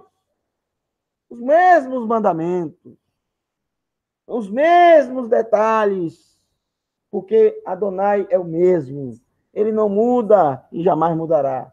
Nenhum dos seus decretos serão anulados, cancelados, omitidos. Sétimo, nunca podemos nos esquecer da Torá. Essa nova aliança é que fala em Meiarro, é a mesma que fala Hebreus? É, se você abrir em, em Hebreus, capítulo. Na verdade, Hebreus não fala. Hebreus cita o texto, quer ver? Hebreus, ele cita o texto. E em Meiarro, Hebreus, capítulo 8. 8, verso 10. Esta é a aliança que farei com a casa de Israel depois daqueles dias, diz Adonai. Porei a minha Torá na sua mente e as escreverei em seu coração. Serei o Elohim deles, eles serão o meu povo. E continua: nenhum deles ensinará a qualquer outro. É a citação totalmente de Irmeiarro 31, 30 a 33 ou 31, 31 a 34 nas Bíblias cristãs. O que está em Hebreus 8 é a citação de Irmeiarro, tá? E não foi o escritor de Hebreus que inventou esse texto. Ele cita, faz a citação, como muitos textos dos escritos nazarenos. Para o Nunca podemos esquecer da Torá. Olha o que Adonai falou Está entre aspas e o Eterno mesmo falando no final dos profetas. Malachi, Malaquias, é quando encerra os profetas. Os profetas iniciam em Yehoshua e vai até Malachi, Malaquias. No final de Malachi, no final de todos os profetas, Quais são os livros que compõem os profetas? Vou falar para vocês aqui. Vou usar aqui para não, não me esquecer. Olha só, profetas. Presta atenção. Yehoshua, Josué, Shoftim, juízes, Shimuel, todos os dois, Samuel, primeira e segunda, Aleph, Bet, Melachim, os reis, primeiro e segundo, Agora, Yeshayahu, Isaías, Irmeiahu, Jeremias, Yeheskel, Ezequiel, e os doze, Shimei, Assar, os doze profetas, Roshea, Oséias, Joel, Joel, Amós, que é Amós mesmo, Ovadiá, Obadias, Yoná, Jonas, Michá, Miqueias, Nahum, Naum, Ravakuk, Abacuc, Sofaniá, Sofanias, Ragai, Egeu, Ageu, Egeu é, é o mar, Ageu, Zechariá, Zacarias e, por último, Malachi, Malaquias. Então, depois de todos esses profetas, de toda essa parte dos profetas, toda essa parte dos profetas, o Eterno termina os profetas dizendo o seguinte: atenção, Zahor, lembrem-se da Torá de Moshe, meu servo, quando lhe ordenei no Horeb regulamentos e preceitos para todo Israel. Malachi, Malaquias 3:22. Nas Bíblias cristãs 4:4. É isso aqui que está debaixo da mesa aqui. É Ruth? É Ruth. Fazendo o que aí, princesa? Veja, o Eterno termina os profetas dizendo: Não se esqueçam da Torá. Vocês se empolgaram com os profetas, não foi? Muitas profecias, muitos detalhes. Para cada história. As histórias de Eliarro, hein? Elias, de Elisha, Eliseu. Cada história fantástica. Os textos que aparecem em Yeshayahu, Isaías, muitas profecias sobre o Machia, sobre o mundo vindouro, coisas fantásticas, maravilhosas, falando sobre o futuro, sobre é, é, o que vai acontecer. E Se empolga, todo mundo se empolga com isso. Não se esqueçam da Torá. Não omitam sal da aliança. Nenhuma das dos teus corbanot tem que ter o sal.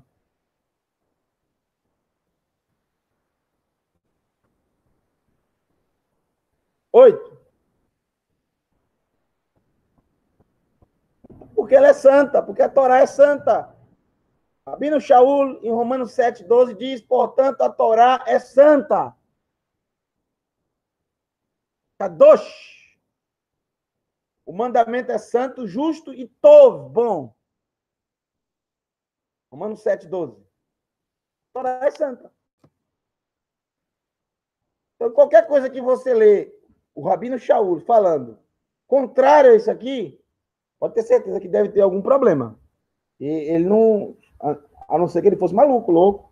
Ou bipolar. Fala uma coisa e depois fala outra. A Torá é santa. O mandamento é santo, justo e bom. Romanos 7,12. Ela demonstra o amor de Adonai pela humanidade. A Torá demonstra, é a demonstração, melhor dizendo, a, a Torá é a demonstração do amor de Adonai pela humanidade. Veja esse texto lindíssimo de Deuteronômio 33, verso 3 e verso 4. Deixa eu colocar aqui a porção, viu, pessoal? É a Paraxá Vezot Rabraha. Vezot Rabraha. A, a porção. É, e esta é a bênção. Vezot e esta Rabraha. A bênção. Em verdade, Adonai ama a humanidade, ama as pessoas, ama o ser humano, pois todos os seus santos estão em sua mão, sentados aos seus pés. Lembra de do Rabi Gamaliel, Gamaliel e o Rabino Shaul estudava aos seus pés? É. Essa expressão de estudar aos seus pés é justamente ser um talmide, ser um, um discípulo. Ruth de novo debaixo da mesa. A Torá que Moshe nos ordenou como herança da comunidade de Yaakov, sentado aos seus pés, recebem dele a instrução, o ensino para o Hashem. A Torá que Moshe nos ordenou como herança da comunidade de Yaakov. A Torá é a nossa herança. Tem muita gente você já ouviu muito essa história, né? De pessoas que querem se juntar com outras por causa da herança. Não é isso? Não é só mulher, não. Tem homem também que quer se juntar também com a mulher perto da herança. Quando a, a, família da mulher é rica, não é verdade? Vai pensar que é só mulher que faz isso. Né? Quer se casar porque quer dar o golpe do baú. O famoso golpe do baú. O que é isso? É rico, tem muito para dar, a herança vai ser muito boa. Ou os filhos, né? Que ficam torcendo para a morte dos pais. Por quê? Porque os pais têm bastante. Isso acontece até hoje, não é? E quer ficar, tá de olho na herança. Lembra de Yeshayahu, capítulo 4? É? Não é quatro?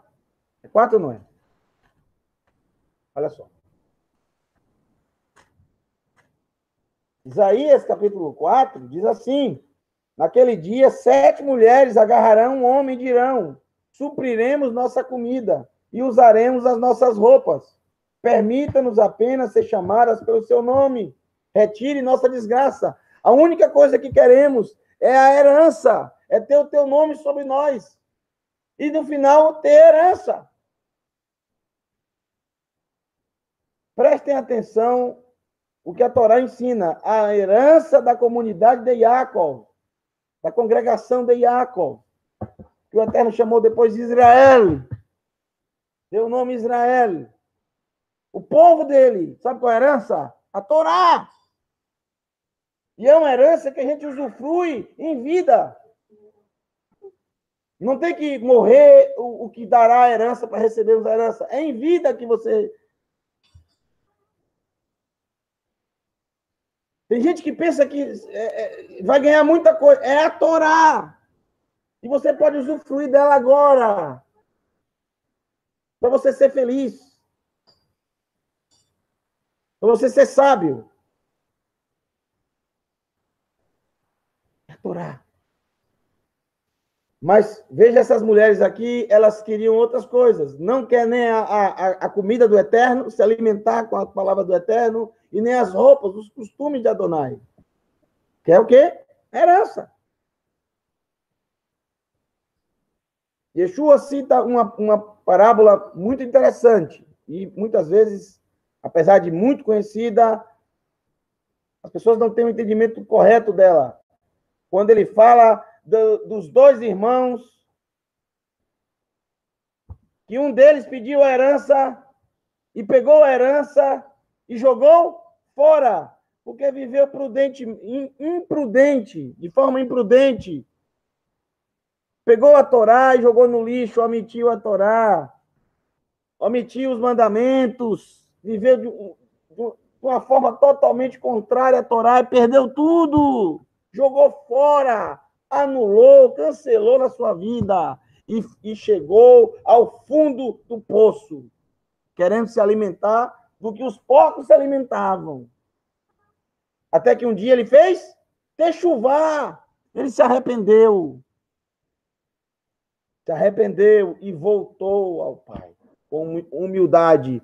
E o que é que ele apresentou ao Pai lá no dia que voltou ao Pai? Ele não apresentou fermento.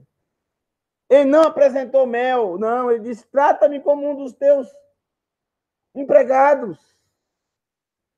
Eu não sou digno de ser recebido como filho. Isso é sal da aliança. Isso é ausência de mel. Isso é ausência de fermento, de hametz, fermentação. Isso é humildade e é somente através dela que se chega ao eterno. Arrogância. Tira a arrogância do teu coração, da tua vida, das tuas atitudes. Tira o Hametz, essa fermentação. Seja sincero, sincera, honesto, honesta. A herança é a Torá. Mas muita gente não quer a Torá. Não, eu, eu queria outra herança. Eu pensava que era uma herança diferente, uma coisa melhor.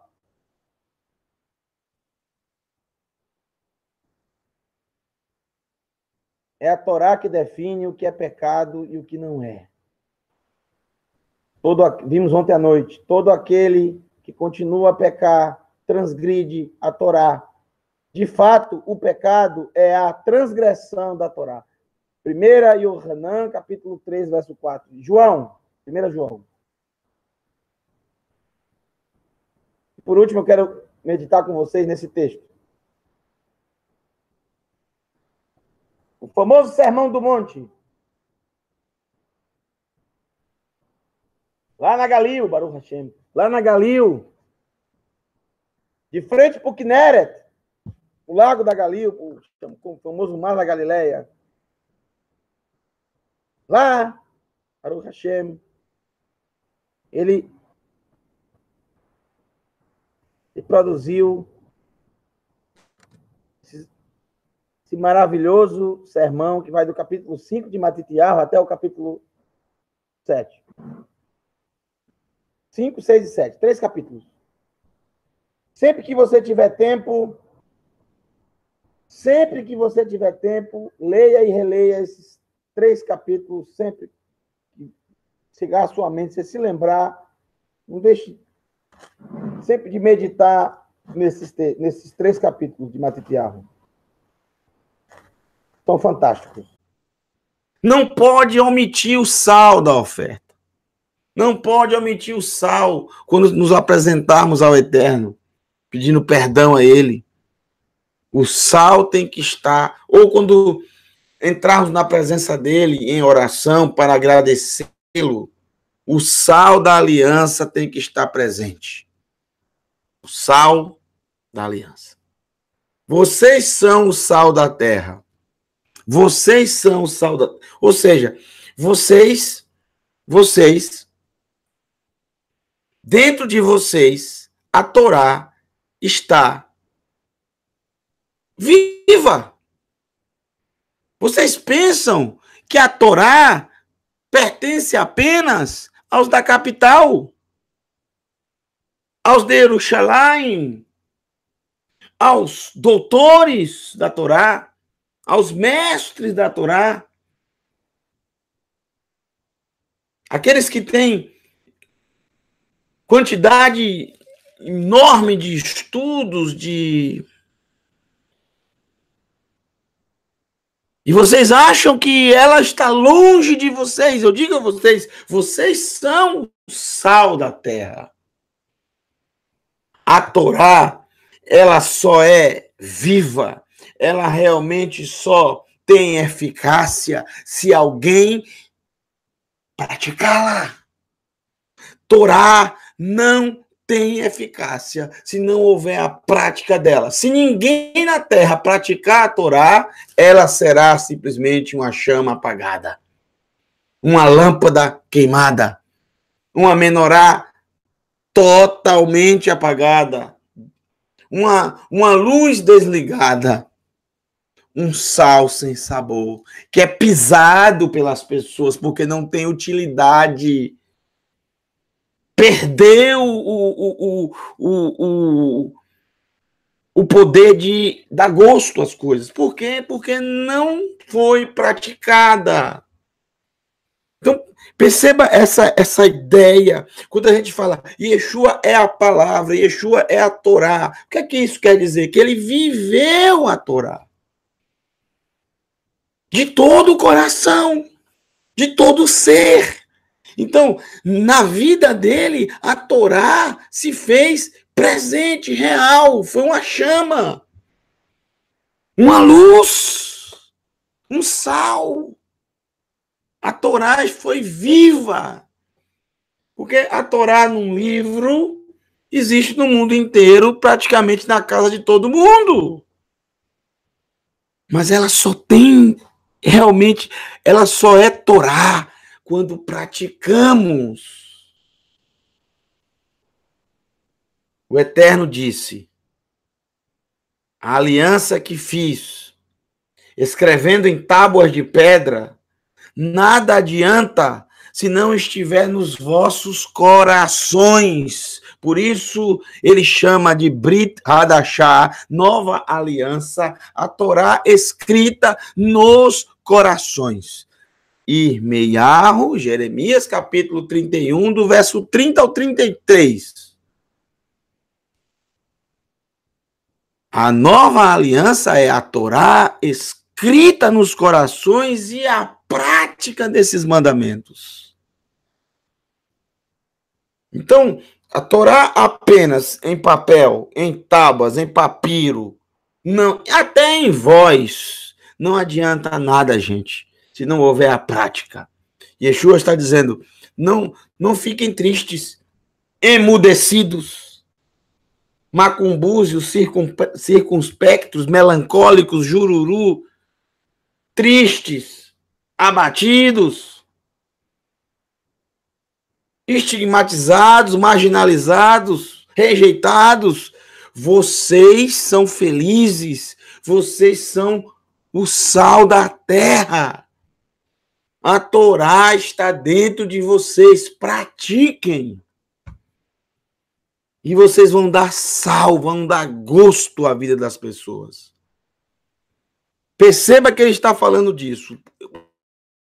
O que, que, que ele está falando da Torá? Para outro adjetivo, além do sal, que eu mostrei aqui para vocês, além do sal, ele vai usar outro adjetivo que tem a ver justamente com a Torá. E é luz, é a luz. Veja, até, mesma coisa do verso 13, o verso 14, até vocês, or haolam, vocês são a luz do mundo. Atem Or Haolam, Or Haolam, vocês são a luz do mundo. Ir Yoshevet, Ir Yoshevet, uma cidade, Ir, uma cidade, Yoshevet, assentada, se assenta, Shevet, Yoshevet, Yoshevet, melhor dizendo, não Yoshevet, perdão, Yoshevet, e Yoshevet al-Hahar, uma cidade assentada sobre a montanha, Lotuhal lehissater, não pode se esconder. Uma cidade que está assentada sobre a montanha não pode se esconder, não tem como se esconder. Montanha Madelikim ner letito tachat ha'eifa. Ki im el ha'menorah le'ha'ir lechol asher babait. Perceba, vocês ouviram algumas palavras, é, vocês ouviram algumas palavras conhecidas, entre elas Eifá, entre elas Menorá. Olha aqui, ó. Então vamos lá. E não se acende uma luz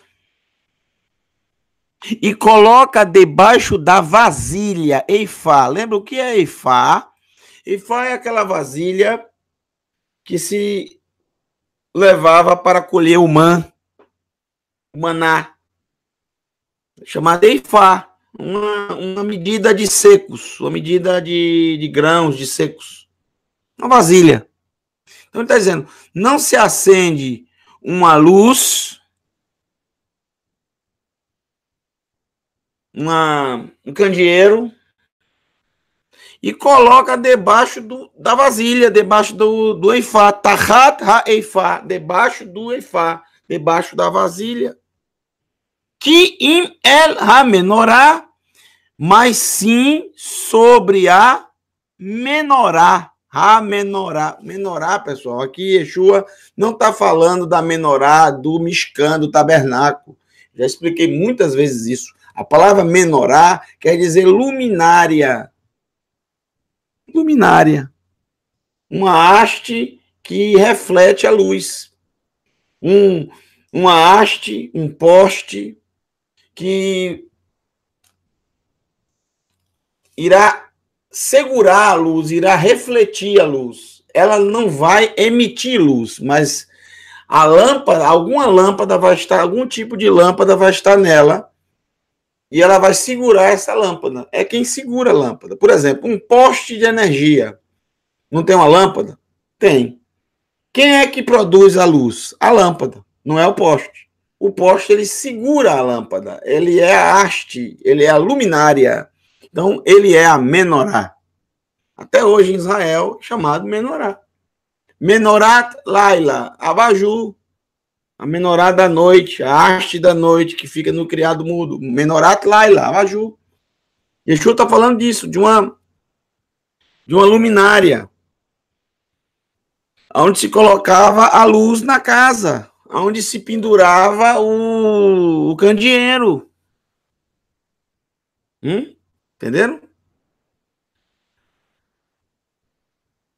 Para iluminação a todos que estão na casa. Então, uma luz não pode ser abafada, não pode ser escondida. Volta, volto e lembro a vocês do que está escrito lá na Torá. Não omita o sal da aliança, não omita a luz a Torá é luz. O mandamento é lâmpada. Está escrito.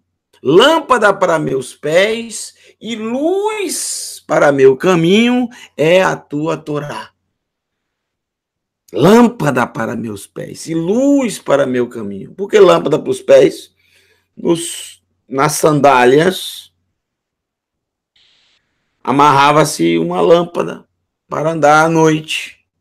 E iluminando o caminho. O que é que precisava, o que é que as pessoas precisavam ver? Era justamente onde elas iam pisar quando, quando estavam andando à noite. Então amarrava um pedaço, uma, uma, uma lamparina pequenininha de barro, onde se colocava ali azeite, é, embebecendo assim algum tipo de tecido, alguma coisa que pudesse queimar por algum tempo. E aí se podia andar por alguns por alguns minutos para fazer alguma coisa de urgência. As pessoas não costumavam fazer muita coisa à noite, só durante o dia. À noite as pessoas ficavam paravam para dormir porque não não havia o que fazer, não havia iluminação. Mas às vezes precisava fazer algum tipo de serviço urgente à noite, ou era alguma coisa que precisava fazer, tinha que ser à noite. Então se usava ou uma lamparina, ou se fosse para um tipo de viagem pelo caminho que usava-se também nos pés, como David cita esse lindo salmo. Perceba que está falando de Torá. Vamos continuar. Foto aí que é a minha esposa, a lindíssima Priscila, aqui nessa linda, nessa linda cidade, praticamente toda de mármore. Você vê os romanos fizeram. Esse é um dos, dos anfiteatros mais bonitos que, os, que o Império Romano já fez. Essa é a cidade antiga de Beit Shean, Beit Shean, local onde foi é, pregado o corpo Shaul Amélé, do rei Shaul, após ele perder aquela batalha e ele perder a sua vida junto com seus filhos no Monte Gilboa. Os, os filisteus pegaram o corpo decapitado de Shaul e pregaram nos portões de Beit Shean, uma cidade muito pequena, mas que na época dos romanos, 60 anos antes da, da Era Comum, os romanos remodelaram toda essa cidade, fizeram a cidade padrão romana, com anfiteatro, com o Cardo, a rua principal dos romanos, é, a cidade com a sauna para mais de 500 pessoas. Onde você já viu uma sauna para mais de 500 pessoas? Beit Shean fica é, bem ao sul da Galileia, um lugar realmente, um parque que vale a pena, vale a pena se visitar e ver que não há dúvida alguma, os romanos dominaram a cidade, as cidades de Israel, dominaram a terra de Israel por um período e estão até hoje esses esses é, é, essas provas arqueológicas, uma, não é uma, uma pedrinha, é uma, são cidades inteiras, né? são várias.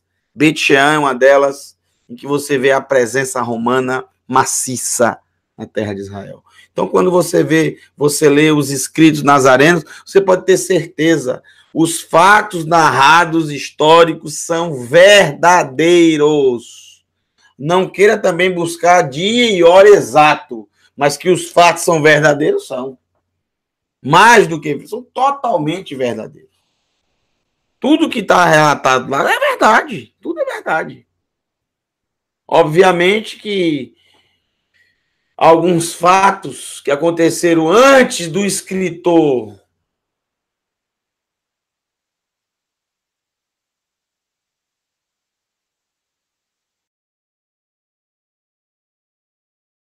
até ter, é claro que as fontes, a coisa, cada um tem seu real. É verdade. Pilatos, Tibérios, César, que são citados, é, são imperadores romanos. A presença deles é, é, é, é real na terra de Israel. São provas arqueológicas, aconteceram de fato. Então tem muita gente que fala muita bobagem por aí sobre os escritos nazarenos. O maior tesouro judeu já viu. Falo isso mil vezes, se for possível. Posso provar. 16. Vamos continuar, veja, observe, analise que tudo que falamos até agora, tanto de sal como de luz, refere-se a Torá. É o que Yeshua está passando para eles. Pessoas marginalizadas, galileus, marginalizados pelos seus irmãos que moravam nas cercanias de Jerusalém, na capital Jerusalém, e detinham, detinham um conhecimento muito mais apurado e se achavam melhores do que os da Galileia. Essa que é a grande realidade. Repito isso muitas vezes porque essa é a tônica do primeiro século. Então você tem que ler, quando você lê os escritos nazarenos, você tem que ter isso em mente.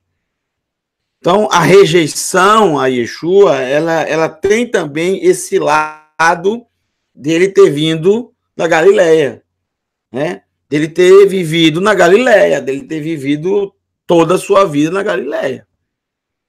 Então há uma, uma, uma, uma rejeição por aqueles que vêm da Galiléia, naturalmente.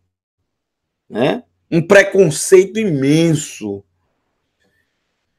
Verso 16. Ko yaer orchem le'einei bnei ha'adam ve'ra'u hatovim ve'en avirem Bashamaim e Rabedu. Assim resplandeça as vossas luzes. Ko Yaem Orchem. Assim resplandeça vossas luzes.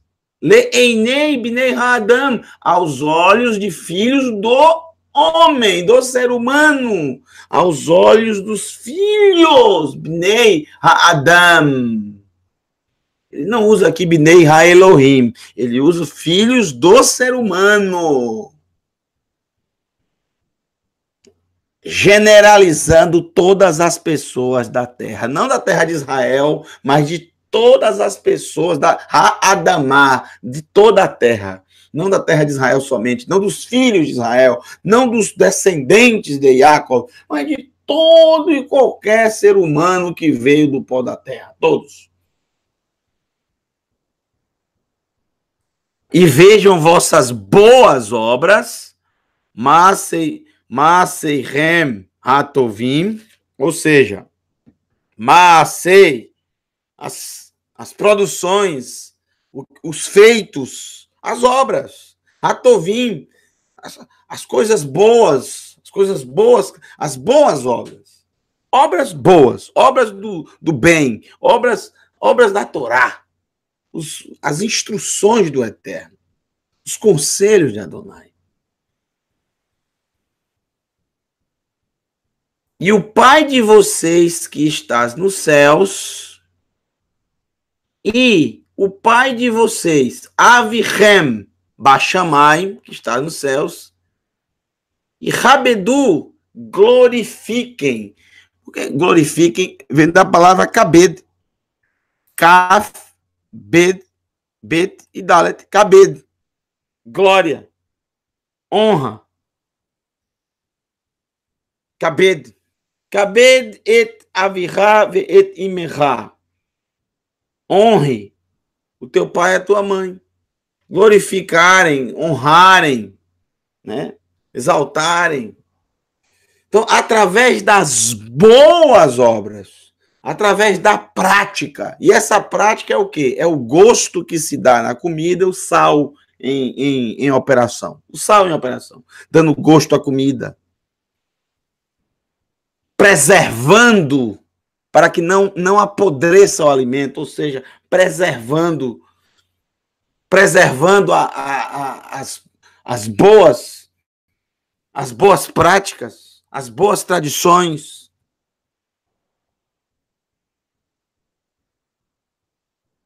desinflamando o que está inflamado, restaurando a ferida, restaurando o corte, a ferida, a doença.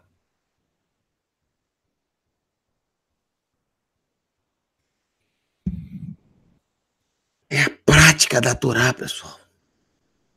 É através da prática que faz com que aqueles que estão ao nosso redor, seja quem for, qualquer um filho do ser humano, qualquer um possa ver, Raul, ver, observar a prática, não a, a o que está falando, mas a prática, e diga: eu quero também isso.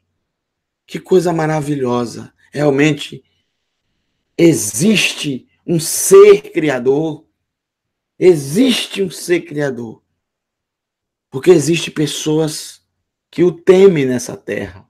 E o temem não através de palavras, que todo mundo está cansado de palavras, mas através de práticas, de atitudes. Verso 17. Veja que por isso que é bom estudar no contexto original e estudar também dentro de um contexto, pegando tudo que ele está falando, pegando o andamento do seu discurso, não uma, uma, uma palavra aqui, outra ali, outra lá, não. Leitura interpretada, lê, lê tudo. Verso 17. Preste bem atenção. Altarchevu Kibati lehafer hatorá. Não pensem que vim abolir a Torá. O Hanivim, ou os profetas. Não vim quebrar o caniço quebrado, nem apagar o pavio ardente. Yeshayahu, capítulo 42. Uma profecia sobre o Mashiach ele não quebrará o caniço quebrado, que é o símbolo da Torá, o caniço que se faz os, os papiros, os rolos, não quebrará o caniço que foi quebrado pelo próprio povo de Israel, e nem apagará o pavio ardente, que é o símbolo dos profetas. O pavio ardente, o símbolo dos profetas. Al-Tarchevu, não pensem que bati lehafer a Torá, que vinha abolir a Torá, ou Hanivim, ou os profetas. Lo lehafer, não vim para abolir. Não para abolir, lo lehafer, não para abolir, bati, eu vim eu cheguei, bati, eu cheguei, eu vim, eu entrei. Que im le malot. Mas para malot. O que é isso? Malot. Malé é engrandecer, encher. Malot plenificá-los, plural.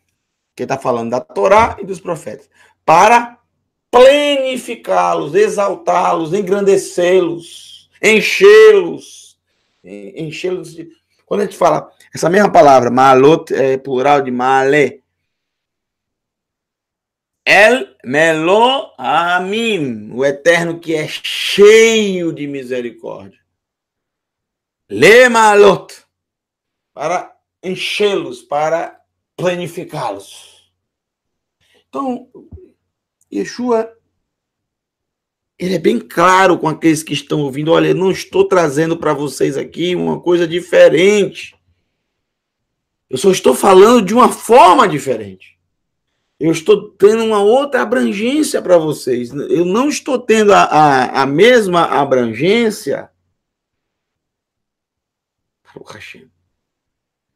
Eu não estou tendo a mesma abrangência,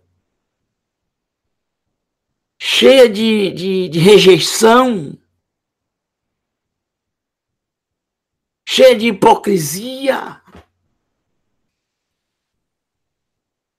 Daqueles que olham para o lado de cá como se fôssemos animais irracionais, como se fôssemos amhaarets como se para ser alguém tem que ter. Como se para ser tem que ter. Torá é para todos. Então não vim abolir a Torá, não vim, não vim, é, é, é, não vim modificar a Torá, alterar a Torá, abolir a Torá, cancelar a Torá. Vocês não devem nem pensar nisso. Não pensem nisso. Não pensem dessa forma. Veja, ele fala para ele não, ele não diz, não falem isso que eu, não, que eu vim abolir a Torá. Ele fala nem para pensar ele coloca que nem em pensamento isso nem deve passar pela nossa cabeça. Olha só que coisa incrível. Já pensou o Machia abolir a Torá? Então ele não é Machia. Ele está dizendo, isso não deve nem passar pela cabeça. E o pior é que além, além de passar pela cabeça das pessoas, passa pela língua e ainda ensinam a outras pessoas isso é impressionante. Até hoje tem muitas pessoas que acreditam piamente que Yeshua veio para abolir a Torá. Que ele veio para abolir a Torá. Que absurdo. Não pensem nisso. Não pensem nisso.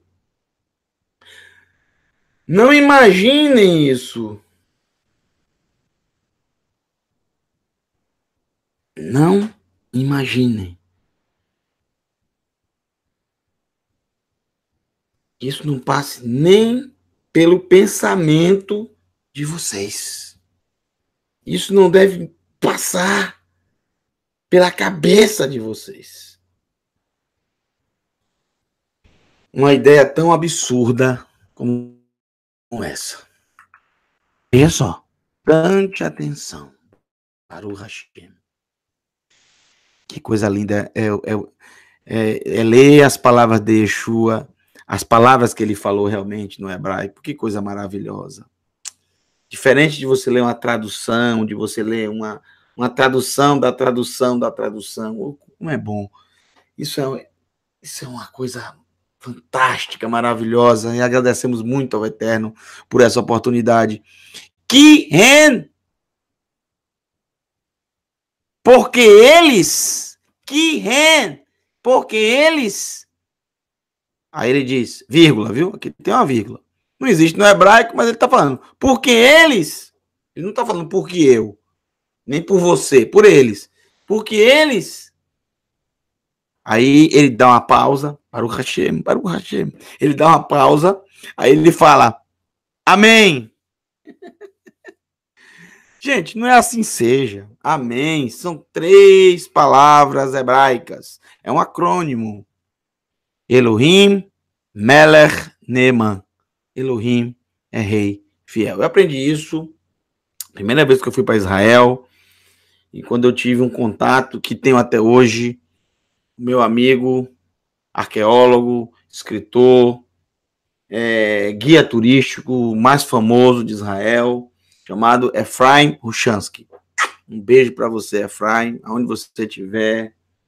Beijo no coração, sempre mantenho contato com ele quando, quando posso, a gente sempre conversa, ele me manda mensagem, eu mando mensagem para ele, a gente conversa bastante.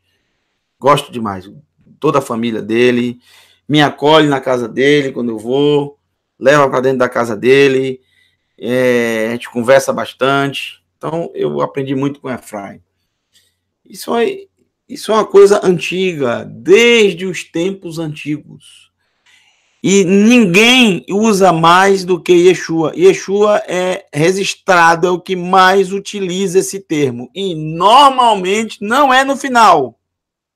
Ele só coloca no começo das frases. Porque não, não, ele não está falando no sentido de assim seja, como muita gente pensa. Em todos os idiomas da terra, amém é a mesma coisa, igual. Por que, que não muda de um idioma para o outro? Porque não é uma palavra. Não é uma palavra. Então não, não se traduz. Sempre se translitera, porque é um acrônimo. Elohim, Melech, Elohim, o Aleph, Melech, o Mem, e Nun, sufita é o Nun de Neeman, Elohim, rei fiel. Elohim é, rei. Eu estou falando Olha que lindo. Porque eles, pois eles, Elohim é rei fiel. Elohim Meler Neman. Amém. E amém, gente. Se você somar as letras, 1 mais 40 mais 50, dá, dá 91. 91 é exatamente Aleph, Dalet, Nun, Yud, Adonai, Yud, Re, Vav, Re, o Eterno. Bendito seja para sempre o seu nome. 1 mais 4, 5, mais, mais 50, 55, mais 10, 65, mais 10, 75, mais 5, 80, mais 6, 86, mais 5, 91. Ou seja, o mesmo valor numérico dessas três letrinhas, Elohim é rei fiel, é Adonai, o eterno. 91, 90 são equivalentes. Para o Hashem.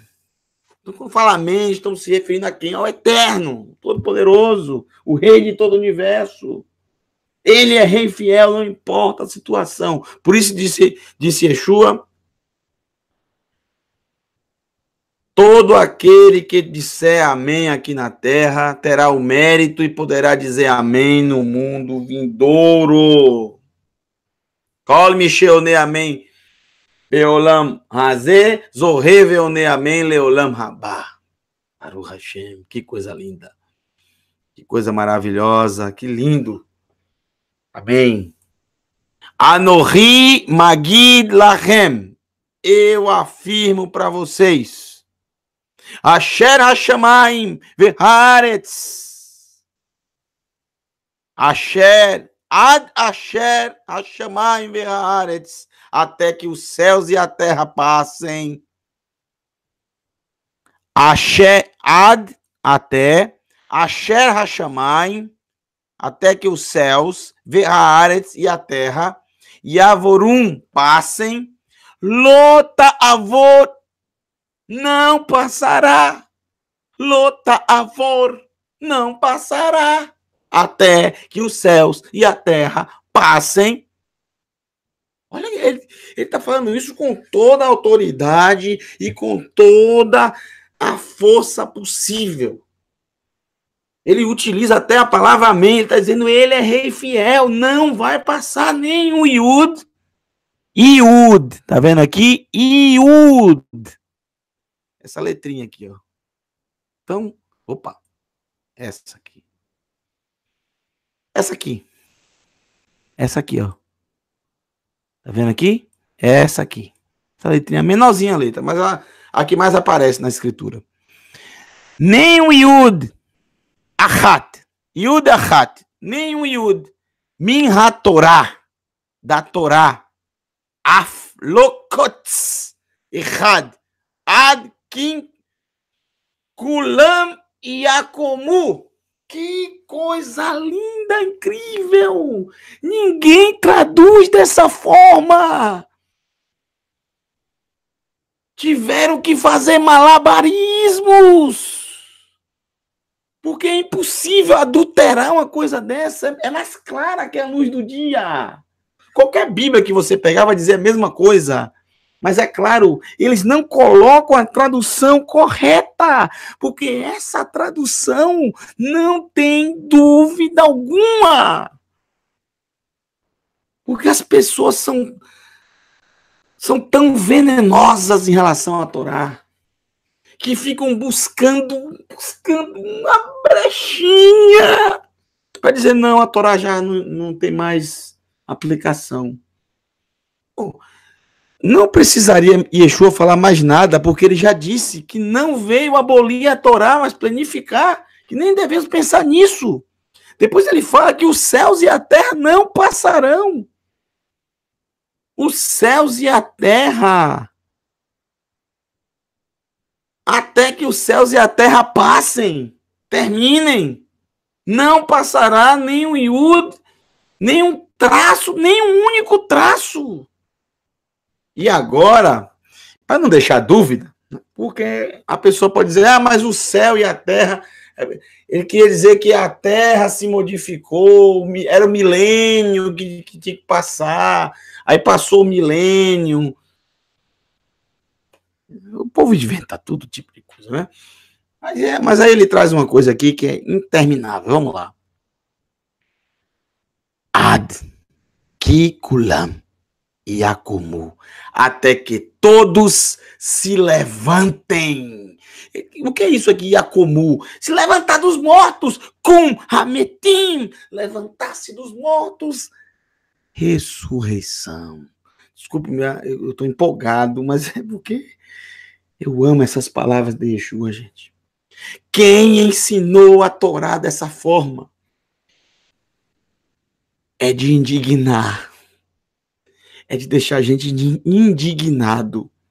As mentiras propagadas do quarto século até os dias de hoje.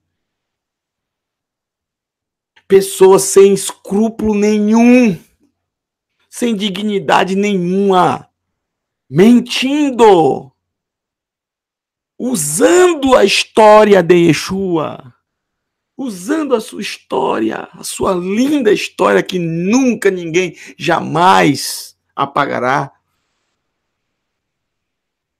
criando religiões, doutrinas mentirosas, que pelo fato, claro, de não quererem é, é, abrir mão das suas práticas pagãs,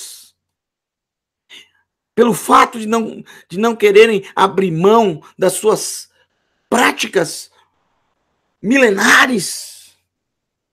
Porque a Torá, quando se abraça a Torá, se você quer abraçar a Torá, você tem que abrir mão da idolatria, abrir mão das doutrinas, abrir mão de tudo. Tudo que você sempre acreditou. Só tem uma Torá. Não tem uma, não tem duas, três, quatro, dez, vinte, cinquenta para cada povo diferente. É uma só para todo mundo. Então você tem que abrir mão, tem que renunciar, tem que mudar. Se você é idólatra, você abandona a idolatria. Se você adorava o Deus Sol, agora você não vai mais fazer isso. Se você cultuava o Deus Sol no domingo, o, o dia que o Eterno determina é o Shabat. Então é tudo diferente. Então só tem uma forma o, a Torá bate de frente completamente com todas essas doutrinas pagãs. Então só tem uma maneira: dizer que a Torá foi abolida. E colocaram palavras na boca de Yeshua que ele nunca falou. Criaram um, um, um, outro, uma outro, um outro personagem roubando a história do Mashiach. E fizeram o mundo inteiro acreditar nisso. E pior, impediram ao longo desses milênios muitos judeus de sequer ouvirem o que vocês estão ouvindo agora. Porque quando um judeu para e lê isso aqui, ele fala: Isso não tem nada a ver com o que eu, eu ouvi minha vida toda. Eu tinha um preconceito total, completo, sobre esse personagem a ponto de não considerarem nem como se fosse do próprio povo de Israel. Sempre foi considerado como algo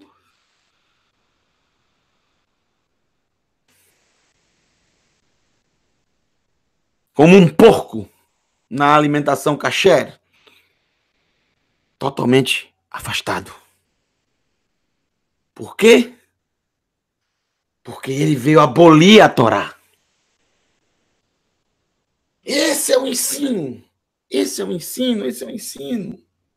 Veja, é uma coisa completamente diferente. E quando você consegue mostrar isso, e um judeu lê isso aqui, ele fala: estamos falando de outra pessoa. Porque a garra que ele fala da Torá o zelo que ele fala, o zelo que ele fala sobre a Torá e sobre os profetas, mais do mais ainda sobre a Torá, porque aqui no verso 18 ele só fala da Torá.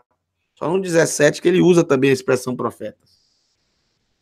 Ele dá mais ênfase em relação à Torá. Não passará nenhum iude, nenhum traço, até que todos se levantem, até que haja ressurreição. Todos. Ele não está falando só dos, dos servos de Adonai. Ele está falando kulam, todos. Kulam. Vocês conhecem essa palavra. Né? Shalom le kulam. Shalom para todos. Todos. Ad até. Até que todos e Acomu se levantem. Essa é a palavra para ressurreição. Não existe uma palavra ressurreição. O que é ressurreição em hebraico? Se levantar. Kum hametim, levantar-se dos mortos. Ressurreição. Então Yeshua está falando, nem um iude, nem um traço da Torá passará, até que todos se levantem dos mortos. Porque quando houver a ressurreição dos mortos, não tem mais nenhuma, não terá mais, no sentido prático, nenhuma utilidade os mandamentos da Torá. Explica isso, por favor, não estou entendendo. Vou explicar. Quando a Torá diz amar o próximo como a si mesmo, na ressurreição dos mortos, isso não vai ter mais é, é, é, serventia, porque não vai ter como se aplicar mais isso.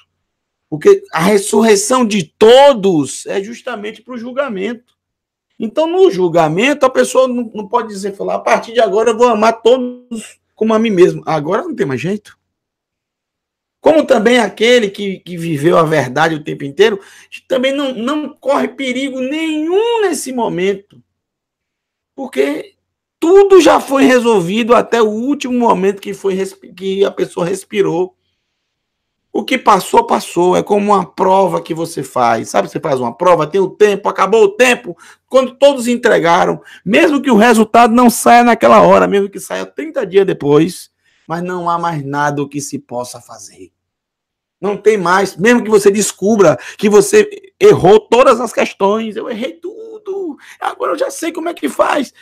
Você já sabe a verdade, já sabe como fazer, mas não tem o que fazer, por quê? Porque já foi entregue, a prova já acabou, já não tem mais jeito. Graças ao Eterno. Baruch Hashem. Agradecemos a, ao nosso Mashiach por essa certeza, por essa convicção, por essa autoridade. Ninguém falou de Torá.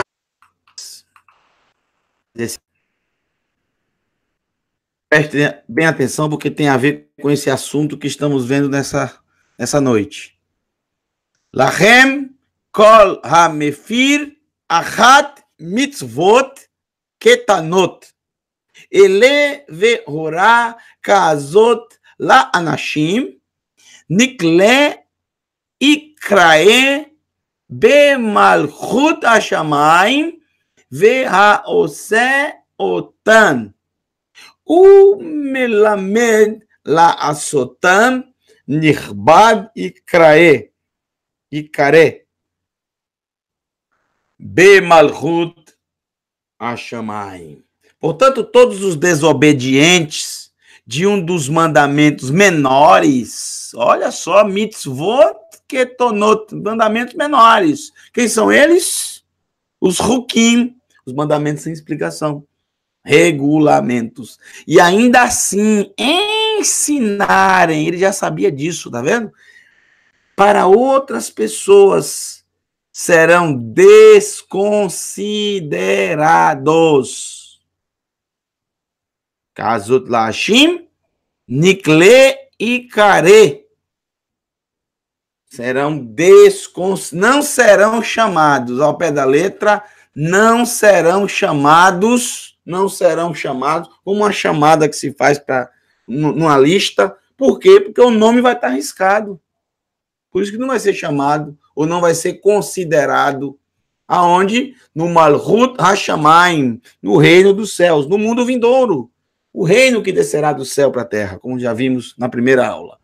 E se praticarem eles, e se praticar, e se fizerem eles, e se praticarem eles, vê a o otan, o mela, isso também não tem, viu?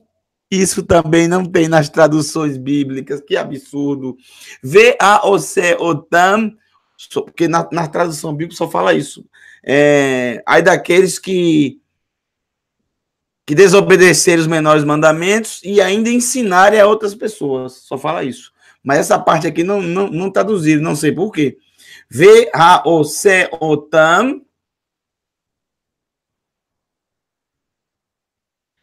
E se praticarem eles, ou seja, os mandamentos, o Melamed, e ensinarem lá a Sotam para outros praticarem, Nirbad e Kare Bemalhut Hashamayim.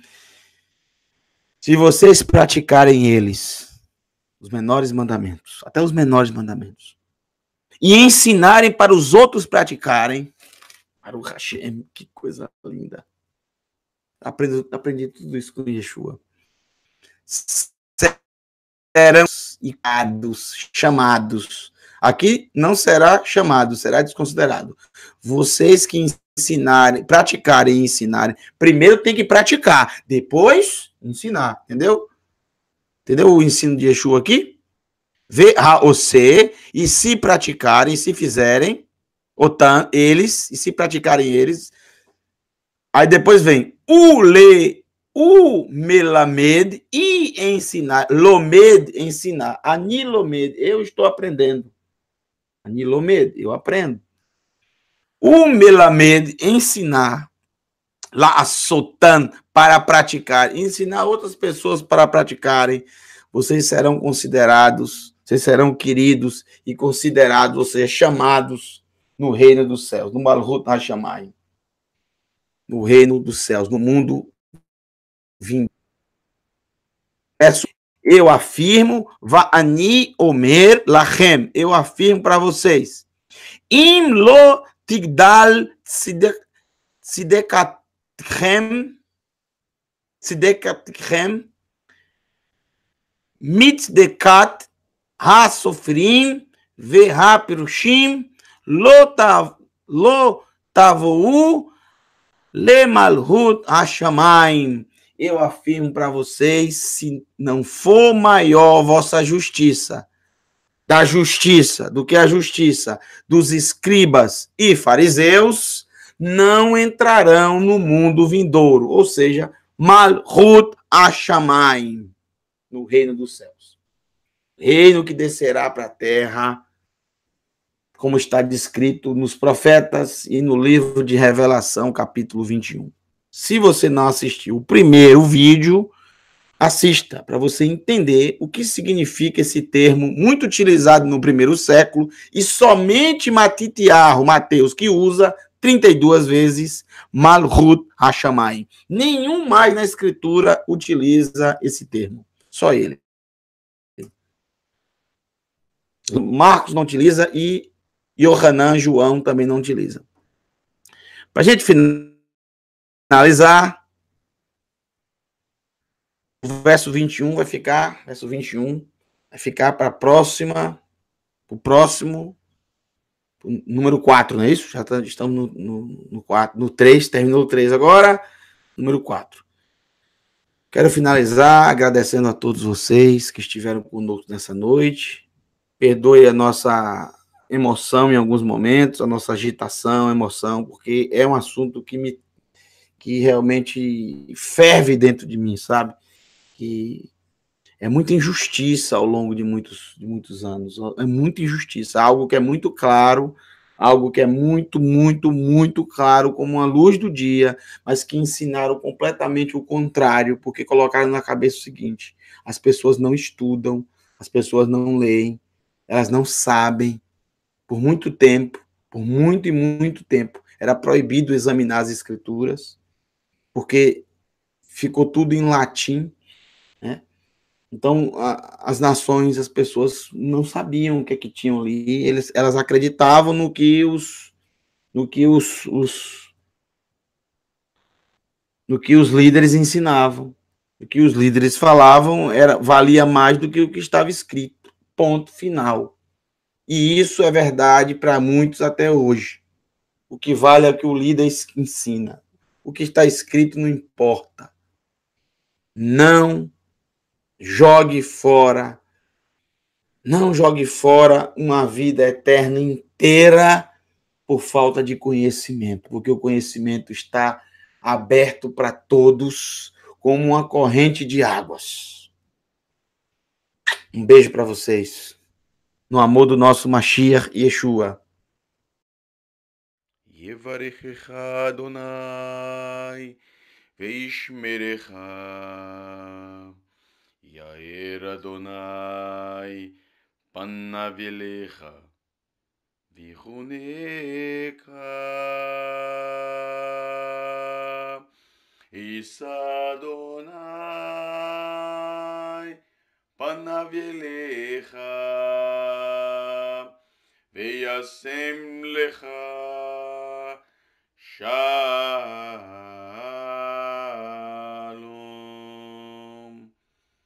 Shem Yeshua Amashiach. Em nome de Yeshua Amashiach. Amém. Elohim, Melech, Neeman, Elohim é rei fiel. Ó quão bom, quão prazeroso é para os irmãos viverem juntos em harmonia. É como óleo perfumado sobre a cabeça, que escorre sobre a barba, sobre a barba de Aaron, e flui para o colarinho do seu manto. É como o orvalho do Hermon, que está sobre as montanhas de Sision, porque é ali que Adonai ordena a bênção da perpétua vida para o Hashem. Para o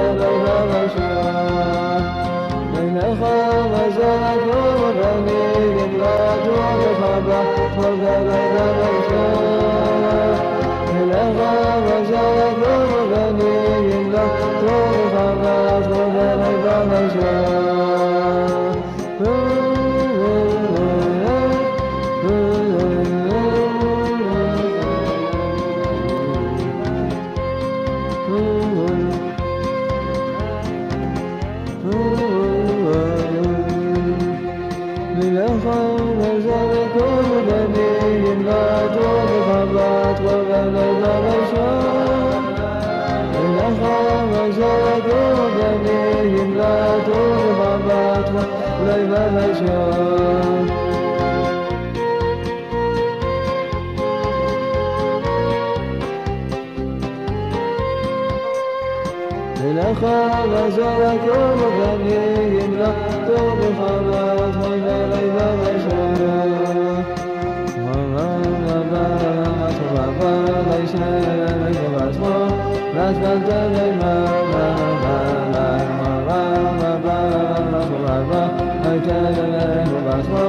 That's what they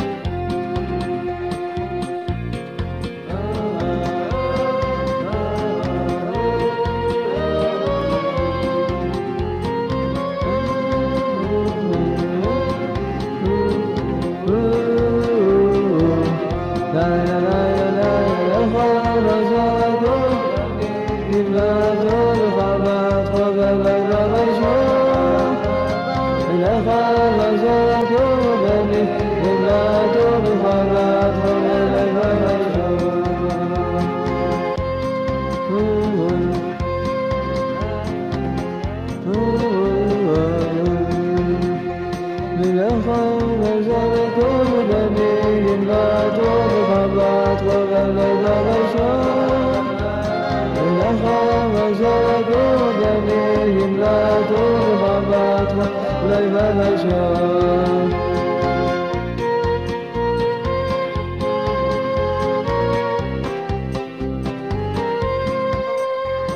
الأخاذ زرق الغني يملأ ثوب حماس من ليل مجال ومن نبات وقال ليس لك مسموع لا تفلت